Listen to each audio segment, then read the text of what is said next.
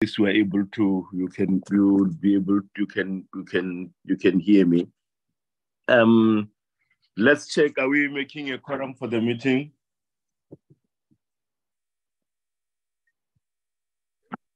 Yes, we have a quorum for this meeting. Yes, Chair. Uh, Yeah, I think we do from. All right. Uh, good morning, honorable members. Welcome to the to the minister. Uh, welcome to the department. Um, today we will be engaging with the uh, the annual performance plan and the budget of the of the department. Um, because we're having a problem with our network. I'll quickly give over to the minister to. Okay, can we um, can you fly the, the agenda, Zoltando? I'm I'm rushing. I'm I'm rushing against the. I'm racing against load shedding. And you fly the agenda so adopt the agenda and see if there are other matters that that members would like to to to add on the agenda? Um,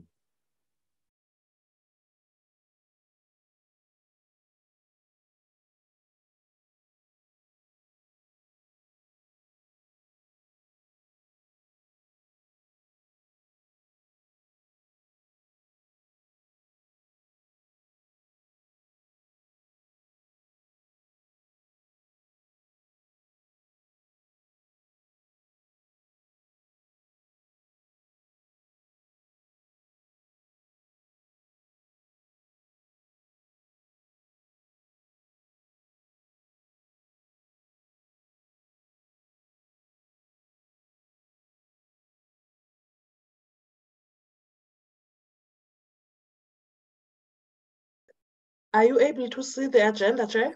oh, am I am I am I am I audible? Yes, you are, Chair. Yeah, can anyone move for the adoption of this agenda if there are no additions? Ndongeni Chair moves. Ndongeni moves. Um, any second? um, Nkosi second. Chair. Uh, thank you. very much. Um, like saying we we we raising against the load shedding, um, and that uh, Noltando, if the you could share the the the the the rights with one more person, so that if we are kicked out of the system, somebody can be able to continue um, with the with the with the running and coordination of this meeting. Uh, without much ado, let me give to the to the minister after saying welcome to you, minister. And yeah, are there- okay. be- before that, Noltando, are there apologies?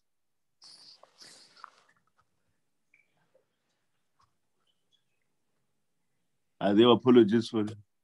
Uh, good morning, Chair. Good morning, Minister. Good morning to honorable members and everyone present in the meeting. Yes, Chair, I've got one apology uh, from Honorable Ndadu. He won't be able to join us today in the meeting because he is briefing the legislature on the fundraising amendment bill. Thank you, Chair. Okay, welcome. Thank you very much. Um, without much ado, let's over to the minister to to lead us in the presentation of the. My apologies, my apologies, Chair. Um, I've, I've also got an apology from the Deputy Minister. Uh, he won't be able to join us today due to the fact that he will be attending a cabinet meeting. My apologies, Chair.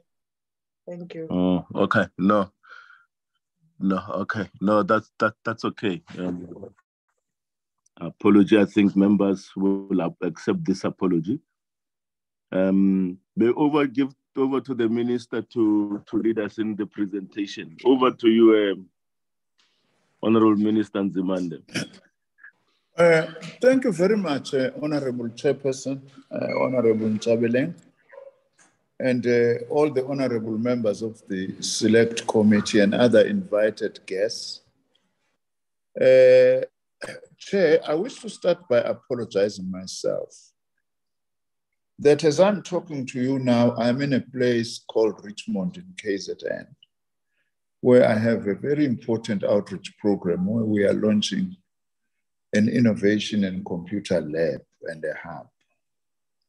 Now, if I hadn't been here today, I would have postponed this event for the third time now.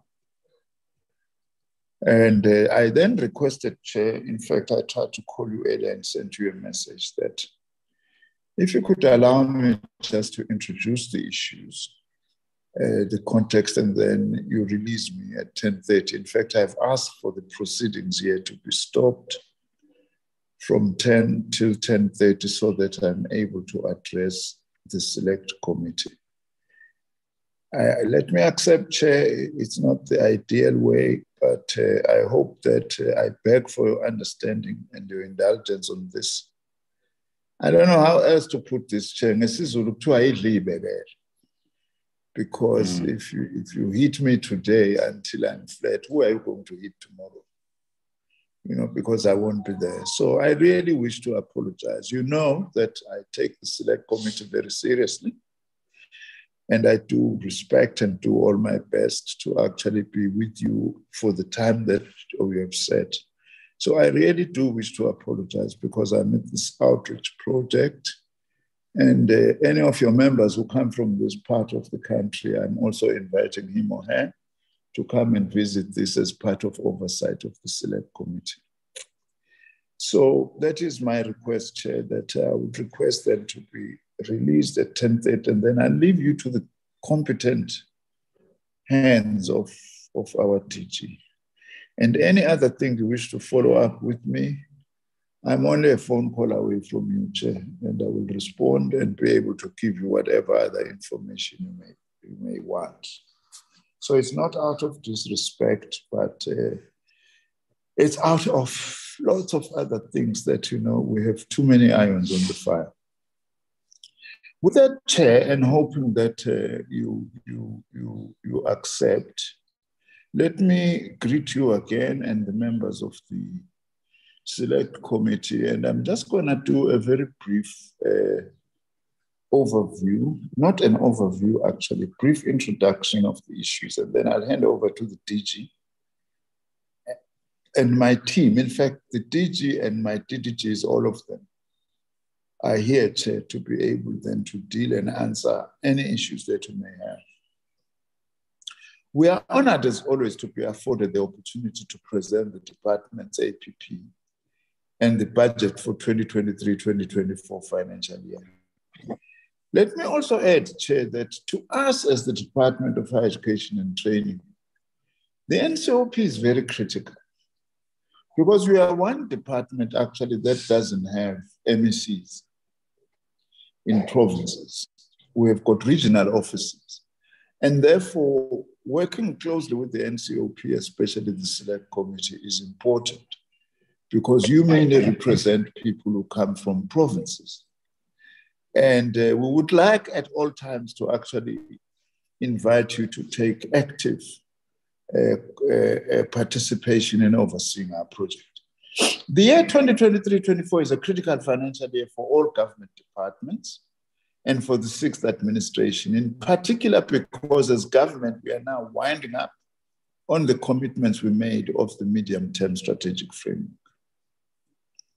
In February this year, the Minister of Finance shared with the nation positive aspects of our economic trajectory, but also the negative side indicating that the medium term growth outlook has actually declined. It's not looking as good as we had hoped. An indication that the country continues to face huge fiscal risks that are compounded by weakening finances of the state owned enterprises in particular. Also, we are facing high debt levels and load shedding challenges, Chair, which also is negatively affecting our sector. The department is equally impacted uh, as we strive to expand the post-school education and training sector by all these negative realities. Yet at the same time, we are mindful of the high expectation that the nation has from our department. For this reason, the department will continue to reprioritize within its existing budget and put controls in place to address any inefficiencies. We have to reprioritize inside our own budget Chair, if we are to meet our priorities given the present financial situation. Notwithstanding the challenges we face, however, we'll continue to support our young people in particular, though we are also dealing with adults in our department, but our young people are a particular priority so that they access the post-school education and training system. For instance, we've targeted to increase enrollments across the post-school education and training institutions. You'll be pleased to know that, Chair. We are also planning to increase the number of university and TVET students receiving NSFAS bursaries over the MTF period, uh, which would be from 439,659 uh, NSFAS beneficiaries in 2023, 24, 24 to 559,884 in 2025 2026 uh, financial year. We'll also be finalizing the concept designs for the construction of the two new universities the University of Science and Innovation in Ekurhuleni, as well as the Detective uh, Services University in Hammanskraal. I also wish to point out, Chair, that I'm very pleased that this financial year we will also be finishing the feasibility studies so that we can start Uh, constructing these in earnest. The Giyani campus of the TUT University, as well as the satellite campus of the University of Zululand in Ulundi. This is part of our deliberate expansion of higher education footprint into rural areas, Chair, which is one of the of my most important priorities actually. Alongside this, we'll be implementing student accommodation projects for the provision of 28,000 student beds directly by government from the fiscus. But at the same time, I've also asked NSFAS to speed up the process of accrediting private providers because government funds alone are not enough to be able to meet the student accommodation demand. So I've said to NSFAS, since they are the funders of private student accommodation, well, as well as university and college owned, please accredit and allocate uh, providers as soon as possible so that we are able to minimize the negative impact of this project. So the 28,000 beds will be from our infrastructure and efficiency grant, but obviously we need much more, which is why we are partnering with private providers. Artisan development, uh, Chair and honorable members, remain one of our key priorities. In this regard, we plan to train, in terms of the NDP, 30,000 artisans per annum as from uh, 2030. But we think we will meet this target before that. In fact, we think that it is what we are planning now, at least to, sorry, Chair, we are planning to produce 30,000 artisans per annum. But this year we are training, we are going to be training already 30,000 artisans in TVET colleges, increasing the trainees to 36,000 in 2025, 2026. Learners in skills development programs will also increase from the targeted 149,255 and a half thousand in 2025, 2026. The department will also intensify efforts towards addressing the imbalances of skills supply and demand in South Africa. The process for developing a countrywide master skills plan under the theme One Country, One Skills Development Plan has already started. This is one of the most important initiatives that we are going to have a master skills plan for the country. This groundbreaking initiative will provide strategic direction to the country's skills system, bring about coherence in skills provisioning and clarify institutional arrangements, and ensure that skills development in South Africa is relevant and responsive to the needs of the economy and society. This initiative of a master skills plan will also include identifying game-changing sectors, such as the hydrogen economy and the skills it requires, the agro economy, digital technology, and will begin to articulate the skills requirements at both domestic and global level. In fact, I'm very pleased, Chair, to say that the, the Innovation Hub I'm, I'm opening today, they've just shown me ultra modern computer facilities and computer room that seated here in these rural areas, these students can be able to receive instruction from someone who is anywhere in the world and can be able to actually listen. And also, as students, they can be able to connect in different parts of the country doing the same thing and listen to one lecturer and also engage. This is what we want to significantly increase this year as well. That's why I've asked, amongst other things, the National Skills Fund to prioritize the expansion of digital skills training. With regards to student funding policy, I've committed to submit to Cabinet clear proposals this year based on the consultations that we are concluding now with the banks. Uh, we're on the proposed government guarantee scheme, especially for the missing middle students. Honorable Chairperson and honorable members, I have observed with concern horrible instances of gender-based violence and murder in some of our higher education institutions targeting female students. I'm engaging with the vice chancellors and TVET college principals, including the security cluster of government, on minimum norms and standards for safety and security to ensure a safe, secure, and proper learning environment for staff, students, and visitors. Whilst Higher Health is continuing to provide psychosocial and related student support services, I'm also glad to announce, Chair, through your select committee that during the 2023-2024 financial year, I'll be launching a very important initiative called Transforming Mentalities Initiative. We'll be a multi-stakeholder partnership and campaign within the post-school education and training system on mobilizing men.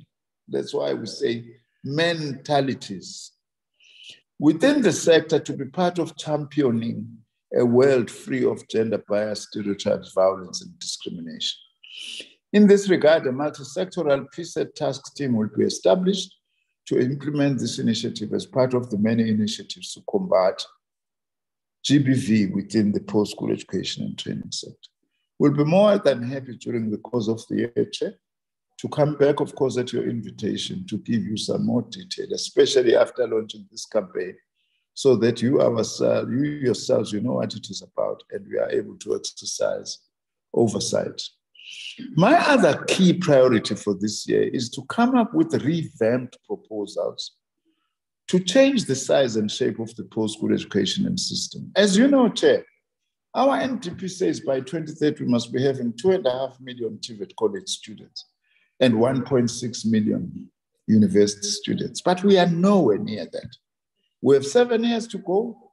And what I want to do by the end of this year is to come up with a very concrete proposal that I'll place before cabinet and I'll place before parliament to say, if we want to move closer towards meeting that target, this is what needs to be done. Big shortage we have in our country is colleges. May I invite you as I close, Honorable Chair and Honorable members to please join me in acknowledging the many strides that we have made, which the DG and the team will highlight, in encouraging a skills and competency-based curriculum for future jobs and lifelong development that the post-school education and training institutions are implementing. We aim to continue to partner with industry as well to produce the skills needed. On the 24th of this month, I'll be presenting our budget vote and I will outline in detail our plans for this current financial year to improve the capacity of the post-school education and training system to meet the skills needs and development of the country. In conclusion, Honorable Chair and Honorable Members, I remain thankful to our Director General, Dr. Nkosinathi Sishi, and our DDGs and the rest of management for their leadership they give to the post-school education and training system. May I then, with your permission, Chair, invite the DG to lead the presentation and provide the details on the plans for the department. As I said, Chair, I humbly and sincerely request then that I be excused at 10.30 so that I can continue with this project, which I'm sure the NCOP itself would be very proud of. Thank you very much. Uh, Mundula Stool. Uh, thank you very much.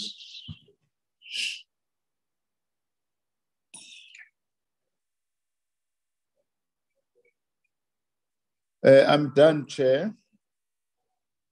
I don't know whether we've lost you.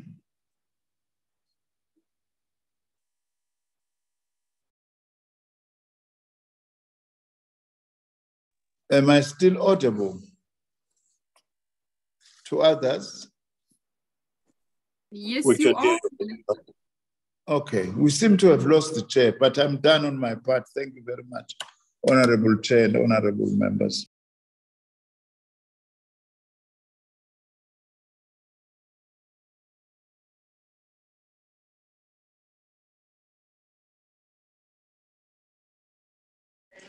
Chair. Hi, am I am I audible?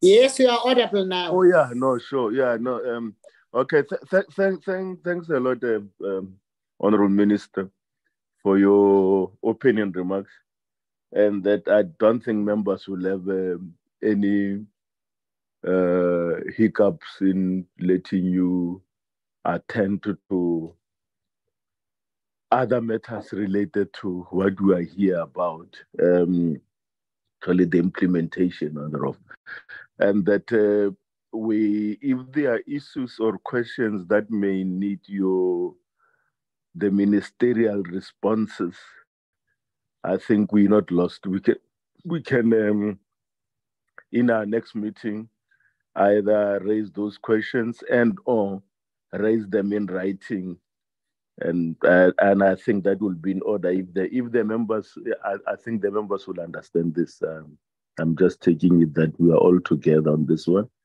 and if we are not, the members will show by show of hand. Um, so with this words, um, you are released a minister when that time comes to leave, uh, for you to to attend to other to other issues.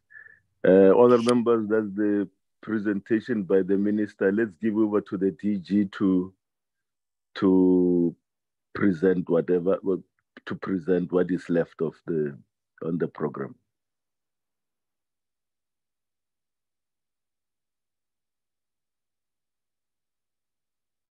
Over to you, DG. Uh, thank you very much, um, uh, Honorable Chair, uh, Honorable Nchabeleng. Um, uh, it's a great honor uh, to be um, here with you today, presenting on behalf of the uh, department. I take this opportunity to thank our Minister, uh, Minister uh, Dr. Blade Nzimande, the Member of Parliament, and the Minister of both the Higher Education Department and Science and, and, and Innovation uh, departments in the ministry. and I'm also grateful for the opening remarks that the minister has uh, made. They contextualize the, the, the presentation um, we are here to make. I'm not alone, Chair uh, person. I'm with uh, uh the CFO of the department. At some point, uh, I'm going to call upon our CFO to uh, present the budget for the 2023-24 financial year um, and there are also other deputy directors generals that are here with us uh, to uh, present on behalf of our minister and deputy minister. Um, the next page, Mr. Mkiwa. Uh, Chairperson, this outline of uh, our presentation uh, gives a, a sense of what the thrust of our presentation is. We certainly are going to, uh, you know, and hopefully we will uh, uh, inspire the, the committee uh, in our coverage of highlights and achievements of our department, uh, you know, within the, uh, the, the, the aims and, and targets for the medium-term strategic framework, the sector priorities as prescribed you know, uh, by um, um, our president, the key outputs uh, for the 23rd and 4th financial year and budget information for the 23rd, 24th medium term expenditure framework. I think it's important, uh, uh, uh, Honorable Chair, that I foreground the uh, presentation with very specific, uh, you know, uh, areas in the Constitution that inform the work that we do, but at the same time use this the Constitution to show the challenges that are confronting the sector. And this hopefully will provide context that is necessary. Whereas, uh, you know, the section 29 of the Constitution of the Republic of South Africa, Act number 108, states that uh, in section one, everyone has a right to basic education, including, uh, you know, adult basic education. When it comes to, when it comes to um, you know, uh, higher education and further education, the Constitution says that the state shall make higher education, uh, you know, available through reasonable measures, progressively, and uh, making this, uh, you know, accessible as it develops the capacity to do so. This is crucial because in essence, what it means is that in South Africa, uh, there's free basic education. And, and, and this compulsory education is not uh, reciprocated by a compulsory higher education and training system. Instead, higher education or further education is only made available on the basis of the capacity of the state. Uh, therefore, every year uh, when uh, we receive young people from basic education, we are confronted with this reality of, uh, you know, do we have the resources uh, to, uh, to, to, to make sure that this is done? And uh, I am happy and I'm grateful that the state has not failed education. Uh, uh, and and the minister has said so in his opening remarks. The medium term strategic framework and, and its outcomes provides clarity on what we aim to achieve, uh, uh, uh, Chairperson. Biggest, uh, you know, area is the uh, accessibility to PSET opportunities. Uh, expanding access to us is going to be, it continue to be our biggest area of, you know, you know, and and later on we will present uh, what we have done with the funding model you know, to try and expand, uh, you know, our initiatives and the impact of our initiatives, such as the NSFAS, uh, that seek to subsidize uh, through bursaries uh, many young people from the poor and the working class. Success and efficiency uh, still remain uh, very, very important. Um, you know, success and efficiency is, uh, is, is, is, is, is important in, in this regard. Uh, you know, optimal use of resources, um, you know, uh, that are allocated to us.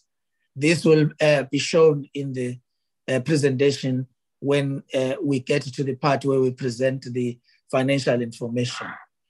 We have to ensure quality education provision by ensuring that excellent teaching and learning in our institutions, which are universities, which are SETAs, which are colleges, both uh, TVET and community education and training colleges. The responsiveness of the system is still important. It enables us to address education and training needs of individuals, employers, and society. Uh, Chairperson, our minister has identified the, the, the young people of South Africa that are not in education, not in employment, and, and not in any training as one of the biggest uh, you know, commitments uh, of the uh, last year of, of the administration. Uh, and uh, in, the, and in this regard, our minister has called for improved social social and economic development uh, in the PSET system and, uh, uh, and, and service delivery in this regard being important. This slide uh, that uh, is uh, currently shown provide student enrollment you know, in the PSET institutions for all universities, for TVET and CET. You can see, that uh, the university sector, uh, uh, which is shown in the blue line, is on an upward trajectory, which therefore means that uh, the, the, the, the, the, education and training system in South Africa uh, is uh, on an upward trajectory. And we are absorbing many young people who aspire to access higher education. And this credit goes to this, the, our government that has uh, made resources available. And I think um, when we have a chance to come and, and account uh, to our parliament, uh, you know, in terms of these resources are allocated to us, it's a, it's a privilege uh, to, uh, to, us. Uh, you can see that the TVET sector is projected for the financial year 2024 to be um, going to spike very high uh, we expect that we will, uh, you know, increase numbers from 547,000 to far more than 620,000, um, you know, up to 2.5 million by 2030. this work we have started to do, and we are going to uh, the, the, all the villages in our country uh, throughout the length and breadth of, of South Africa uh, to get young people interested in community education and training in our programs for SETAs and in our TVET programs in particular, uh, notwithstanding uh, that our universities are urged to focus you know, on occupations in high demand. So that relevance of the education that we provide is also um, you know, ensuring that our economy continues to perform and uh, it continues to benefit from the young people exiting the system. NSFAS funding uh, between 2018 to 2021 is on an upward uh, uh, trajectory. You can actually see the numbers there from 2018 uh, in universities. it has grown from 260,000 to 450,000 uh, uh, by in the outer year 2024. And uh, Chairperson, I think we really, really feel that this is what the select committee must be proud of. Be proud that just this year only, we have funded 1.1 million young people from TVET and universities in all our institutions. This is uh, uh, really something uh, that is uh, important. you know, 1.1 million young people funded, not funded only in terms of tuition fees, funded in terms of learner support materials, funded for accommodation, funded for uh, you know other uh, requirements, including allowances that are, provi- are provided. Uh, and this is really something that we are proud of and if you go back to many years when we started with TEFSA, uh, where we had about 7 million, uh, uh I'm sorry, 7,000 students, to say that right now we've got uh, 1.1 million students that are funded through, through NSFAS is important. But Chair, I must also say that uh, whereas in the past, when we started NSFAS was a loan, right now NSFAS is not a loan, but it is a, a, a bursary. This is something that is a, a, a, South Africa and even the members of the select committee must feel proud of uh, because it is the work that you do representing the views and the, the aspirations of our people uh, that has led to you helping us to increase the resources uh, that we allocate in the funding of young people in the system. Next.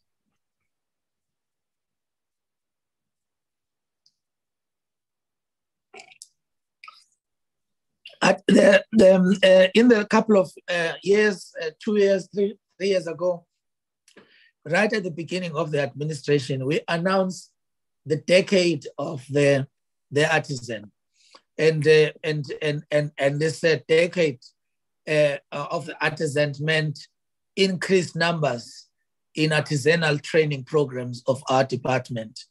Uh, in this regard, Chairperson, we have absorbed uh, great numbers, you know, uh, in this regard. You can see in the years of COVID, those numbers, uh, you know, uh, dropped. But I can assure you now that we are in 2023, we are moving up again in terms of, you know, the trajectory of improved output to the extent that our targets for 2030 is to produce 30,000 artisans. I'm happy to, to report that uh, we are already in this particular financial year anticipating that we already will reach the target of 2030 in terms of the number of artisans that we are going to be producing. And we will show in the presentation how this is going to be achieved.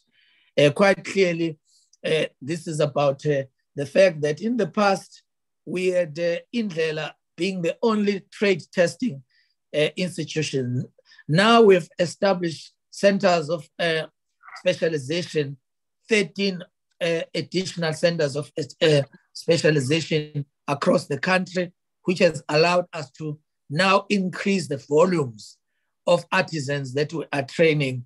And therefore, we are going to be looking very carefully at uh, those that exit with certificates uh, so that we improve, you know, you know, accessibility you know, to the training programs uh, that uh, the TVET um, uh, programs are, are, are running in particular.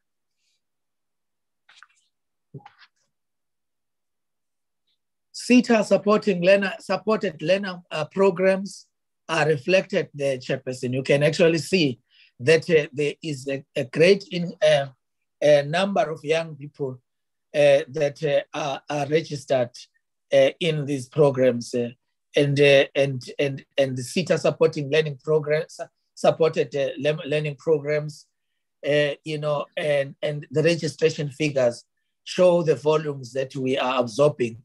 And uh, I'm happy to see that uh, in the latest figures, we are beginning to also show, uh, you know, increased, um, you know, capacity to absorb more learners um, uh, after the COVID uh, pandemic. Chair, when we speak about uh, the expansion program of the department, uh, it must also be seen not only in the light of increased numbers absorbed in the, in the system, but it must also be seen in terms of infrastructure that we are building to accommodate the growth of the sector. Uh, uh, pictorially, you will see, uh, um, you know, buildings, you know, completed, not the ones that we are still thinking. just for the sake of this presentation, we decided that we will just show you that uh, Umsinga, you know, campus under the Umgungundlovu TVET uh, College. Uh, in the past, we were planning to build it. Now we are happy to say it is completed. That uh, SI TVET College at Umzimkulu, it's now completed. Kwanongoma Umtashlana TVET campus is completed. Kwaqigazi is completed. Ikhala TVET College at Aliwal North in the Eastern Cape is completed. Ingwe TVET College at Ngungushe, Eastern Cape is completed. The Eastern Midlands TVET College, you know, uh, we, we've just finished Thabazimbi uh, Uh, you know, uh, a campus in the Popo province uh, completed. Uh, you know, we, con we continue, we are in the plan now to, to build a new campus at Kia in Giyani, uh, you know, for the TUT University. but at Mopani, TVET College is a new campus in Giyani, Greater Giyani, uh, where the feasibility uh, uh, study is finalized and we are building this new campus there again. At Gert Sibande in the new Balfour campus, uh, you know, already under construction uh, at the Paliseng, uh, you know, municipality. Uh, in, in the Bambanana, uh, Umfolozi, uh, work has been completed. Uh, in the Western Cape, Mitchell's Plain, um, uh, already planning uh, of new campuses is done. This is to show the select committee that uh, we, we are in the rest of the country, in all the provinces, ensuring that the expansion of the system is uh, uh, able to absorb the big numbers that uh, we are planning to absorb at 250,000 uh, from the current uh, 600,000 average numbers that you, the system is able to absorb. I'm happy to share this with you, uh, Honorable Chair, and I wish that you will be invited in future just to give details in terms of our infrastructure program because it, we are excited about what we are doing. And uh, I'm happy to also say that uh, ne next year, uh, this, this particular year, we are going to be building two additional universities on top of the new universities that we've already completed. As you know, Mpumalanga University uh, has been built. Uh, you know, as you know, uh, Sol Plaatje University has been completed. It's running and it's already uh, graduating students. We are now planning to build two new universities at Ekurhuleni, and this is going to be the Science and Innovation University, and it's also going to be another university at uh, uh, of policing at Hammanskraal, uh, which is going to specialize in crime uh, detection. This is the contribution of the post-school education and training. And uh, you can see in the slide, I'm not going to go through it, uh, other developments that shows that uh, we are not focused in one particular area in the system. We are building the capacity of the system in all corners of our country. And hopefully this is going to improve accessibility of uh, our institutions. The priorities uh, for the 2023-2024 financial year as prescribed by our president indicates that in this particular financial year, we are going to uh, strengthen and uh, the changing of the size and shape of the PSET system so that what I say is our infrastructure initiatives. And uh, Chair, may I uh, not miss the opportunity to, to just uh, excite the co select committee uh, with the news that we are going to be building nine new community education and training centers in all the nine provinces. In this uh, financial year, it's going to be started. And in August, this financial year, we are moving into sites uh, in the provinces that are ready. Uh, we are currently finalizing the student funding model, which already chairperson has been tabled uh, to our cabinet and, uh, and it's in the final stages, which is going to ensure that NSFAS is sustainable. As you know that uh, the current uh, model, uh, operation model of NSFAS uh, is not sustainable, chairperson, because of the demand, not only in terms of the numbers, but the demands of our economy that uh, requires that uh, we begin to uh, focus on the occupations in high demand. The establishment of our two universities, I've made reference to it, the placement of our students through a funding scheme in collaboration with NSF. We, in this regard, are targeting young people uh, that are trained and placed in workplaces. I am happy, Chairperson, to report to the committee that uh, uh, our president committed us to placing 10,000, you know, uh, uh, uh TVET graduates in the last financial year. And uh, in eight months, we managed to, to, to place 16,000 and exceed the target that our president had, uh, you know, um, you know, set for us.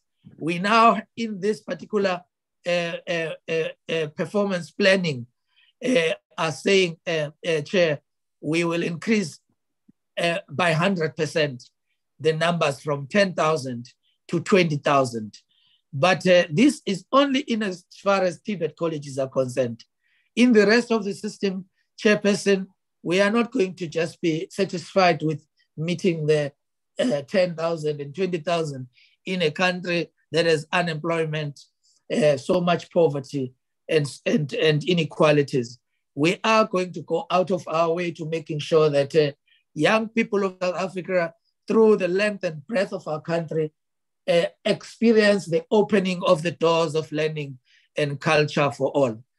Truly, literally, uh, in every corner of our country, we are going to be opening opportunities for young people locked out in the system because they cannot access it because they have no funds to do so.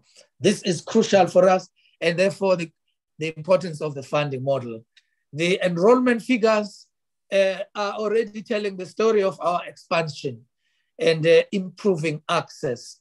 Uh, for example, just uh, uh, the fact that this year we have increased by 2.1% the numbers of young people that are accessing or, or that are first-time students that are entering our university.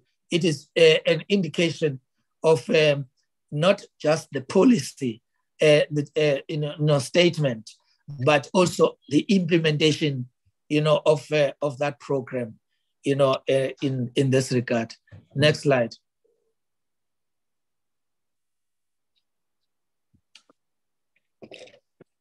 Artisan learners trained in TVET colleges, chairperson, are going to increase. Uh, these numbers uh, uh, uh um, are saying from 30,000 to 36,000. Uh, but I can assure you, Chair, that uh, this year alone, and uh, not you know in in 2025, we want to achieve that target of 36,000 in this financial year, and and and not in 2025, 2026, because we are determined to excel and exceed. Uh, uh, we hold ourselves to very high standards, and in this regard, we are committing to outdo the figures of our artisanal training. And it's not uh, just an ambition, Chair. I've indicated that we've increased uh, uh, trade testing uh, to more than 13 centers currently, from one training trade, trade te testing center to 13. We want more uh, so that uh, in the township closest to where honorable members live, there is a trade center there and young people that are involved in entrepreneurship pro, in, in, in artisanal programs can access training and testing and, and, and, and gain certificates there. We will increase uh, our infrastructure plans, uh, the concept designs for the uh, new universities that we are going to be uh, building. I think you can actually see uh, the, the completed universities the Sol Plaatje University there, uh, the, that in, in, in, even the kind of infrastructure we are rolling out is uh, uh, the top drawer, you know, infrastructure that uh, our young people deserve. Uh, we will implement nine projects for the provision of 28,000 student beds over the MTF. The minister did uh, touch on this. I'm not going to dwell on it, but we will also build 12 community learning centers over the MTF, starting with the three in the 2023 financial year, which includes uh, uh, in Gauteng, we are going to Tsinyane, where we uh, in Heidelberg, we are going to be building a, a, a, community, one of the 12 community learning centers planned for the rest of the country. We are going to KwaGuqa, Emalahleni, uh, where we are going to be building a similar center and an ER Refir in the Western Cape, we are going to be building another community learning center. As you can see, our national footprint uh, as, an, as a PSET system uh, uh, gives us an advantage of presence in the whole country. And uh, we hope that uh, we will give all South Africans something to celebrate in the programs we are ro rolling out, uh, notwithstanding the limitations in the resources at our disposal of which uh, at some point we'll ask the support of the select committee uh, when we beg for additional resources, particularly to expand infrastructure. Building eight TVET college campuses over the MTF and making two additional uh, you know, campuses in this regard, which is uh, Bambanana campus and as well as Greytown campus is a commitment we are making. We are going to be working with the DUT uh, to complete the engineering building, uh, uh, which is part of the Imbali precinct, uh, as, as part of the multi-purpose uh, program, uh, which this year is going to be focused upon in Giyani, you know, as well as in Ulundi. We are going to ensure that 6,000 students participate in work integrated learning programs uh, in construction mm. over the MTF. The success and efficiency is, is, a, is a strategic uh, uh, focus of our department. We don't want just to absorb uh, big numbers, but we also want to see that these numbers absorbed exit with qualifications that are relevant uh, to the economic needs of the country, but also that uh, opens opportunities for the graduates to uh, set up their own jobs so that they become employers instead of looking for jobs and yeah themselves. We want to increase university graduates in the engineering areas. We want to ensure that initial teacher education, we increase the numbers, that in our master's programs, we increase the numbers and we put targets that are clear. In the doctoral program, we want to increase numbers and we've got targets that we have set. And uh, also, um, Chairperson, this goes with the transformation of the sector. Uh, we've got a UCDP program which seek to train uh, young professors and young academics so that we see the transformation, you know, in the university sector with new uh, and young professors, you know, that uh, emanate from uh, designated groups uh, so that we also drive the transformation and change the profile of the management of our institution uh, to be a reflection of uh, the, the, the country, the rainbow country we live in. The reason um, as, for, for success uh, a number of them, uh, but uh, I think it's important to also say that there are some challenges which we are confronted with and we will deal with them going forward. next slide. The increase um, uh, uh, in, uh, in, in, in, in success and efficiency will be reflected through the certification that are issued for qualifying students. And we are focused in this area we want to increase artisan development program uh, up to 28,000 um, uh, in, in scarce skills areas and increase learners who complete learnerships uh, uh through our SETA programs and learners who complete internships. Uh, uh, these will also increase.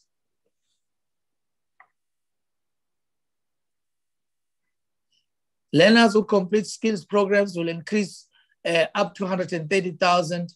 Uh, you can see the ambition there, Chair, from 105,000 to 130,000 by 2020-25.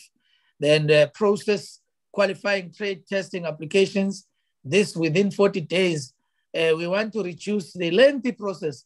We are setting standards here of saying uh, qualifying uh, trade, trade testing applications must be responded to within 40 days and uh, not uh, uh, sit for the whole year having applied because we have increased the capacity. So we can actually achieve this. Increasing the number of CET college students completing the GTC is important. We are working with SAQA to finalize the NASCA uh, qualification as well uh, so that uh, graduates uh, are able to receive you know, qualifications that open the doors in the economy we are focused on improving the quality in the provisioning of post-school education and training. The NGAP program uh, at the level of university has produced 85 young professors that have graduated who are in this, in this program for the last six years. And uh, these are the uh, graduates who can now start applying for positions in management after this program. About 40 uh, have uh, been allo allocated scholarships and, or internship positions to universities through the Nurturing Emerging Scholars program, because we, we do not want uh, the same profile in the system of an elderly uh, scholar um, uh, cadre within the system, but we want young, you know, uh, uh, uh and imaginative scholars that are going to be absorbed in our system to help us to making sure that our university system is transformed, but also that uh, it, it is sustainable, uh, you know, and uh, over, over a long period of time. The doctoral scholarship program is a successful program of the department. We are going to increase the proportion of university learners who hold doctoral degrees, as well as establishing an advisory panel on the implementation of the language policy, including the increase of the percentage of college lecturers that are holding the professional qualification uh, from 75%. We are committing to a higher target of 95%.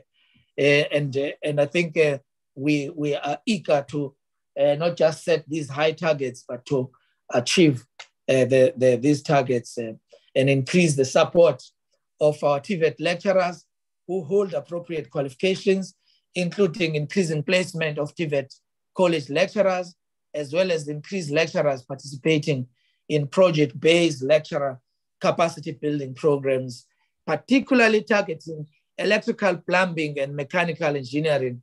These are the areas which are targeted in our lecturer development program.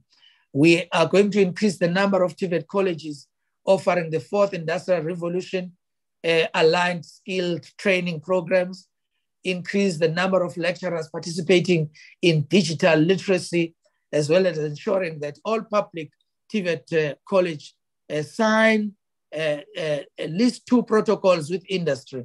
In fact, Chairman, let me just indicate to you that I've uh, ensured that all principals sign a perform performance agreement that says each and every college will have a, an, an, an agreement uh, you know, or protocol uh, um, uh, with the industry in the area where they are located, so that we strengthen partnership between our colleges with the industry, so that we improve the prospects of, uh, you know, graduates uh, being placed in the workplace and, uh, and, and also being absorbed in positions of employment.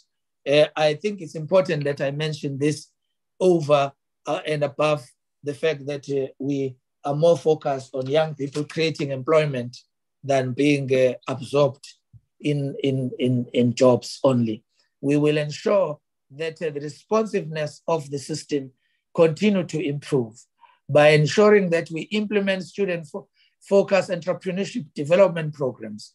In this regard, Chair, may I uh, indicate that uh, we've allocated about, about uh, half a billion uh, uh, through the NSF funding in a collaboration with the SEDA and the Department of Small Businesses in the training of entrepreneurs uh, you know, in our country.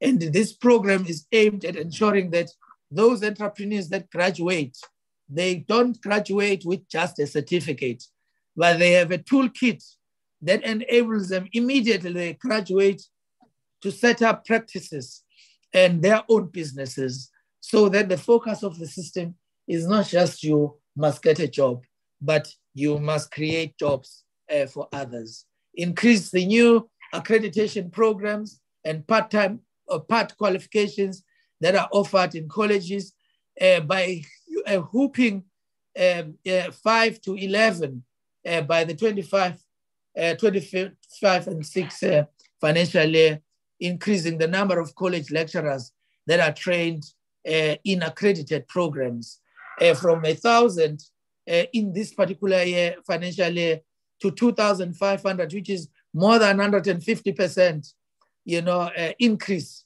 uh, cumulatively, you know, over the outer year is an ambitious target. And uh, we are determined to achieve it.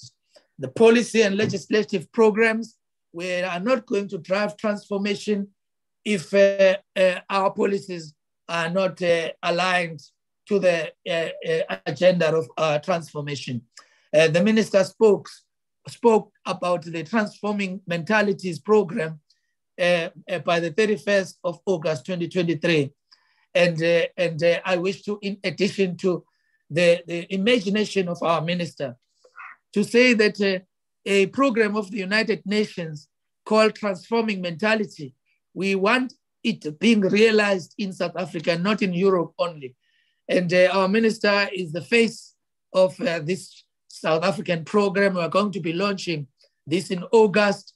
And uh, we, we hope that uh, we'll be working with the select committee as well in ensuring that we excite South Africa about the importance of fighting gender-based violence and that that fight is led by an active cadre of men so that the mentality of men changes. And, uh, and in this regard, the work that is done by activists uh, uh, for gender empowerment is going to be complemented through this program. We have uh, um, uh, uh, to publish the National Qualifications Framework. I'm happy to say that this is already with the president and it has gone through processes. The NQF amendment bill will be finalized sooner.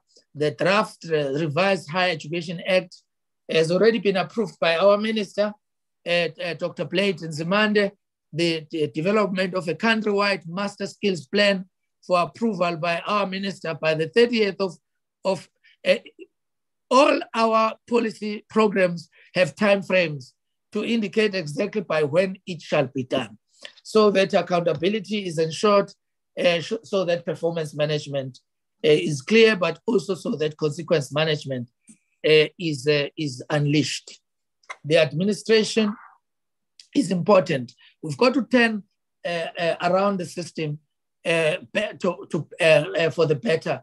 I'm happy, Chair, to indicate that the number of SETAs that have achieved clean audits in the system has increased.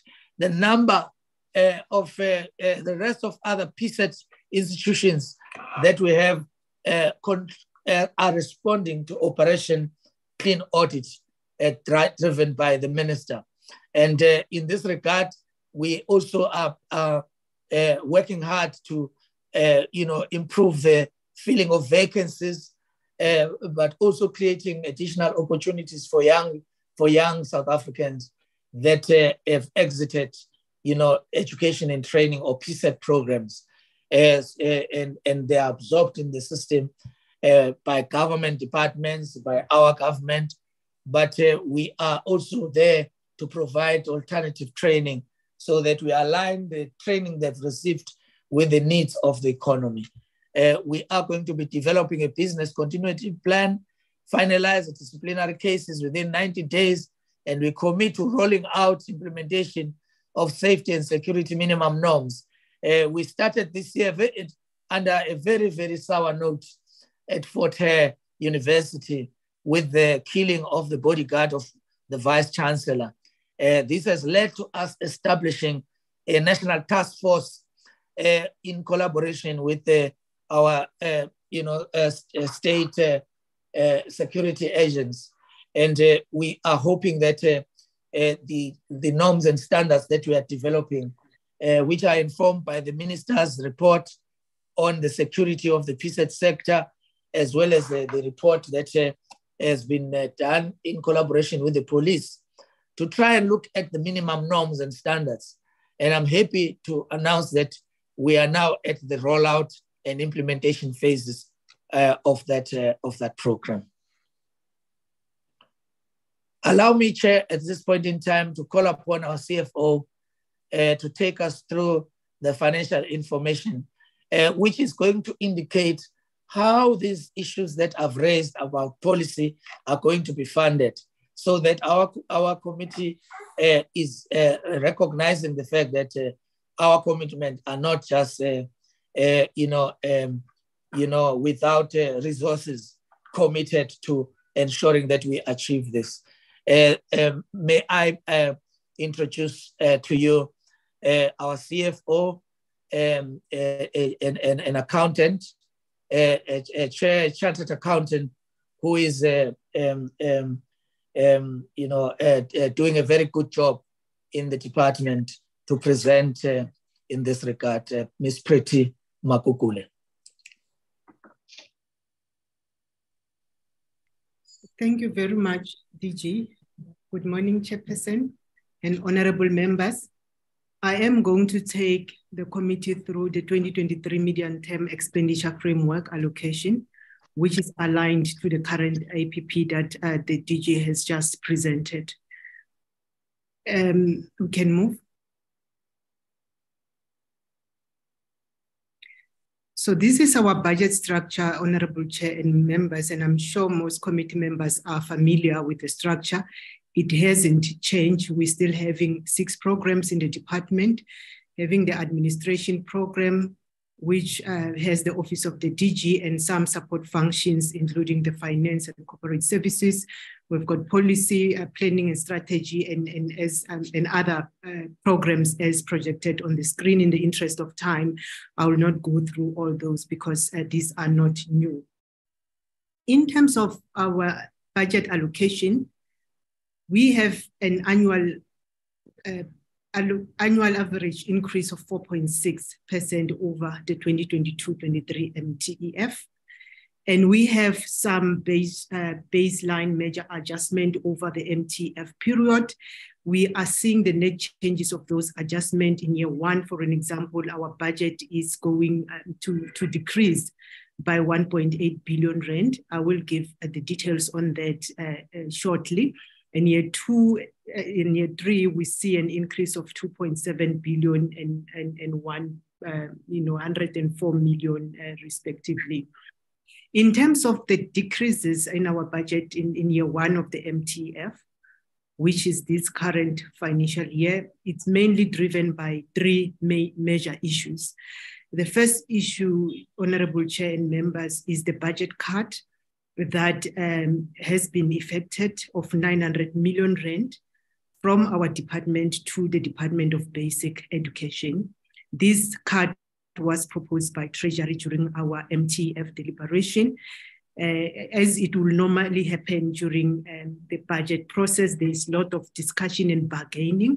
The department has bargained that this cut not be affected. However, uh, and we did not succeed in that, but there was a lot of information that was provided, chair by Treasury, uh, you know, uh, uh, you know, that will include the fact that uh, Department of Basic Education has now a new function of early childhood development program that was migrated from the social development and that program was underfunded. And they've been identifying areas where they can um, reprioritize fund and our department was one of the areas. And one of the motivating reasons from their side was the fact that uh, there were some slow spending in some of our infrastructure program. And then the second area that uh, you know influenced uh, the, the major budget decrease is the reprioritization of infrastructure. This does not make, uh, it does not have an impact on the overall allocation uh, of the department, but the reason it's showing a major decrease in year one is that some of the, the funding is being allocated in the after, outer year. Uh, Chair, this is to reprioritize fund uh, of about 1 billion rand from the university infrastructure budget to community colleges so that community, community colleges can also have their own infrastructure. It's uh, DG has project, uh, presented earlier on that uh, over the MTF, we are planning to build nine colleges and three of those are going to be built uh, this financial year in Gauteng. Mpumalanga and, and Western Cape. We are excited, chairperson and members, because there have been concerns from various stakeholders, including ourselves as a department, on the fact that the CET colleges uh, do not have their own infrastructure. And we've seen this affecting uh, the quality of uh, teaching and, and, and learning at, at, at, at, at some point in time.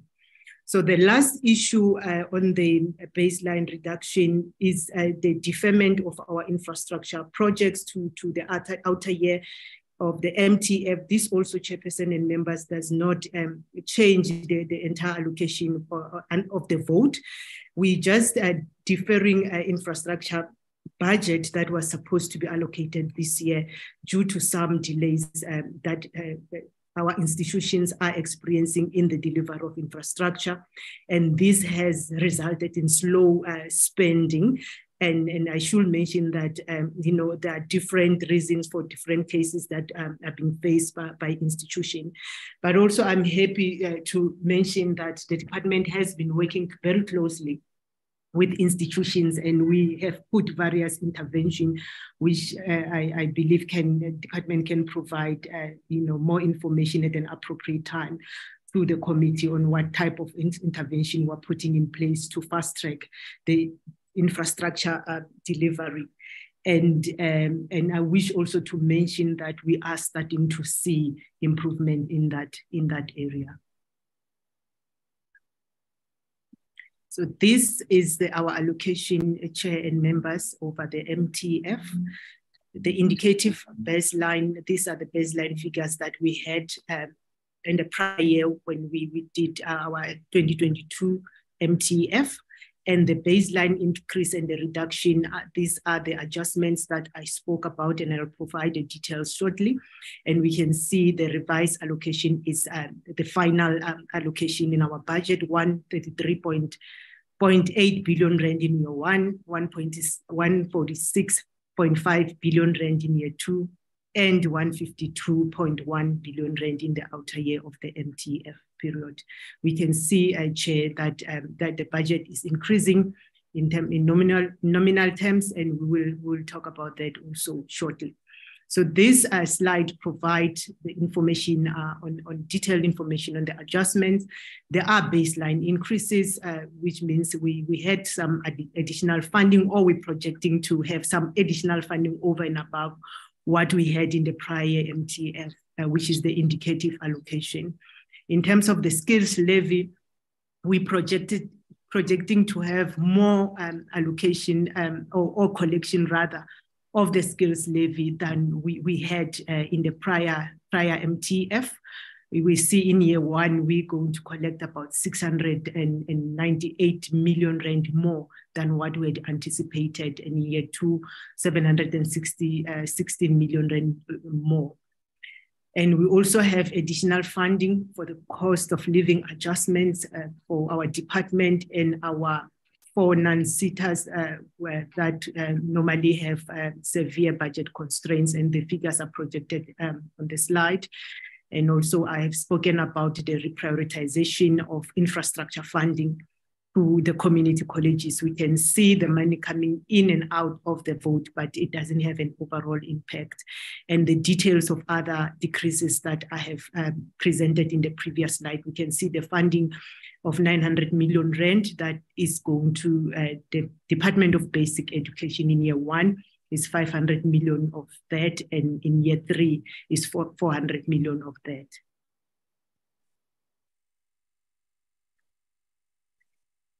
This slide uh, shows uh, the budget trends per sector. As committee members are aware that we mainly have three subsectors under the PSET, which is the college sector, the university, and the skills sector. So in terms of the college sector, we are um, projecting to see an, an, a significant increase in of the allocation over the MTF at an average of, of, of 15.2% increase, which is far much higher than what we had in the prior um, MTF of 8.9%. And this is mainly due to the reprioritization within the NSFAS allocation, where funding has been moved from the university to support more TVET students.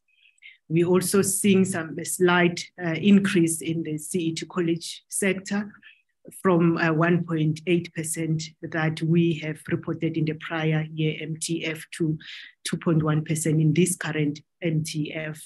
And the contributing factor there is mainly the infrastructure funding that we have uh, reprioritized from the university to community colleges we see the university sector, the projected um, MTF allocation suggests that there will be a decrease over the, the, current MTF cycle from the 65% um, that we had in, in, the, in the prior year to, to the 61.2% in this current uh, MTF period. And, and the skills levy, I've presented the, the figures in the previous slide um, we're seeing the impact of those figures um, also in this current financial year having to go to go up.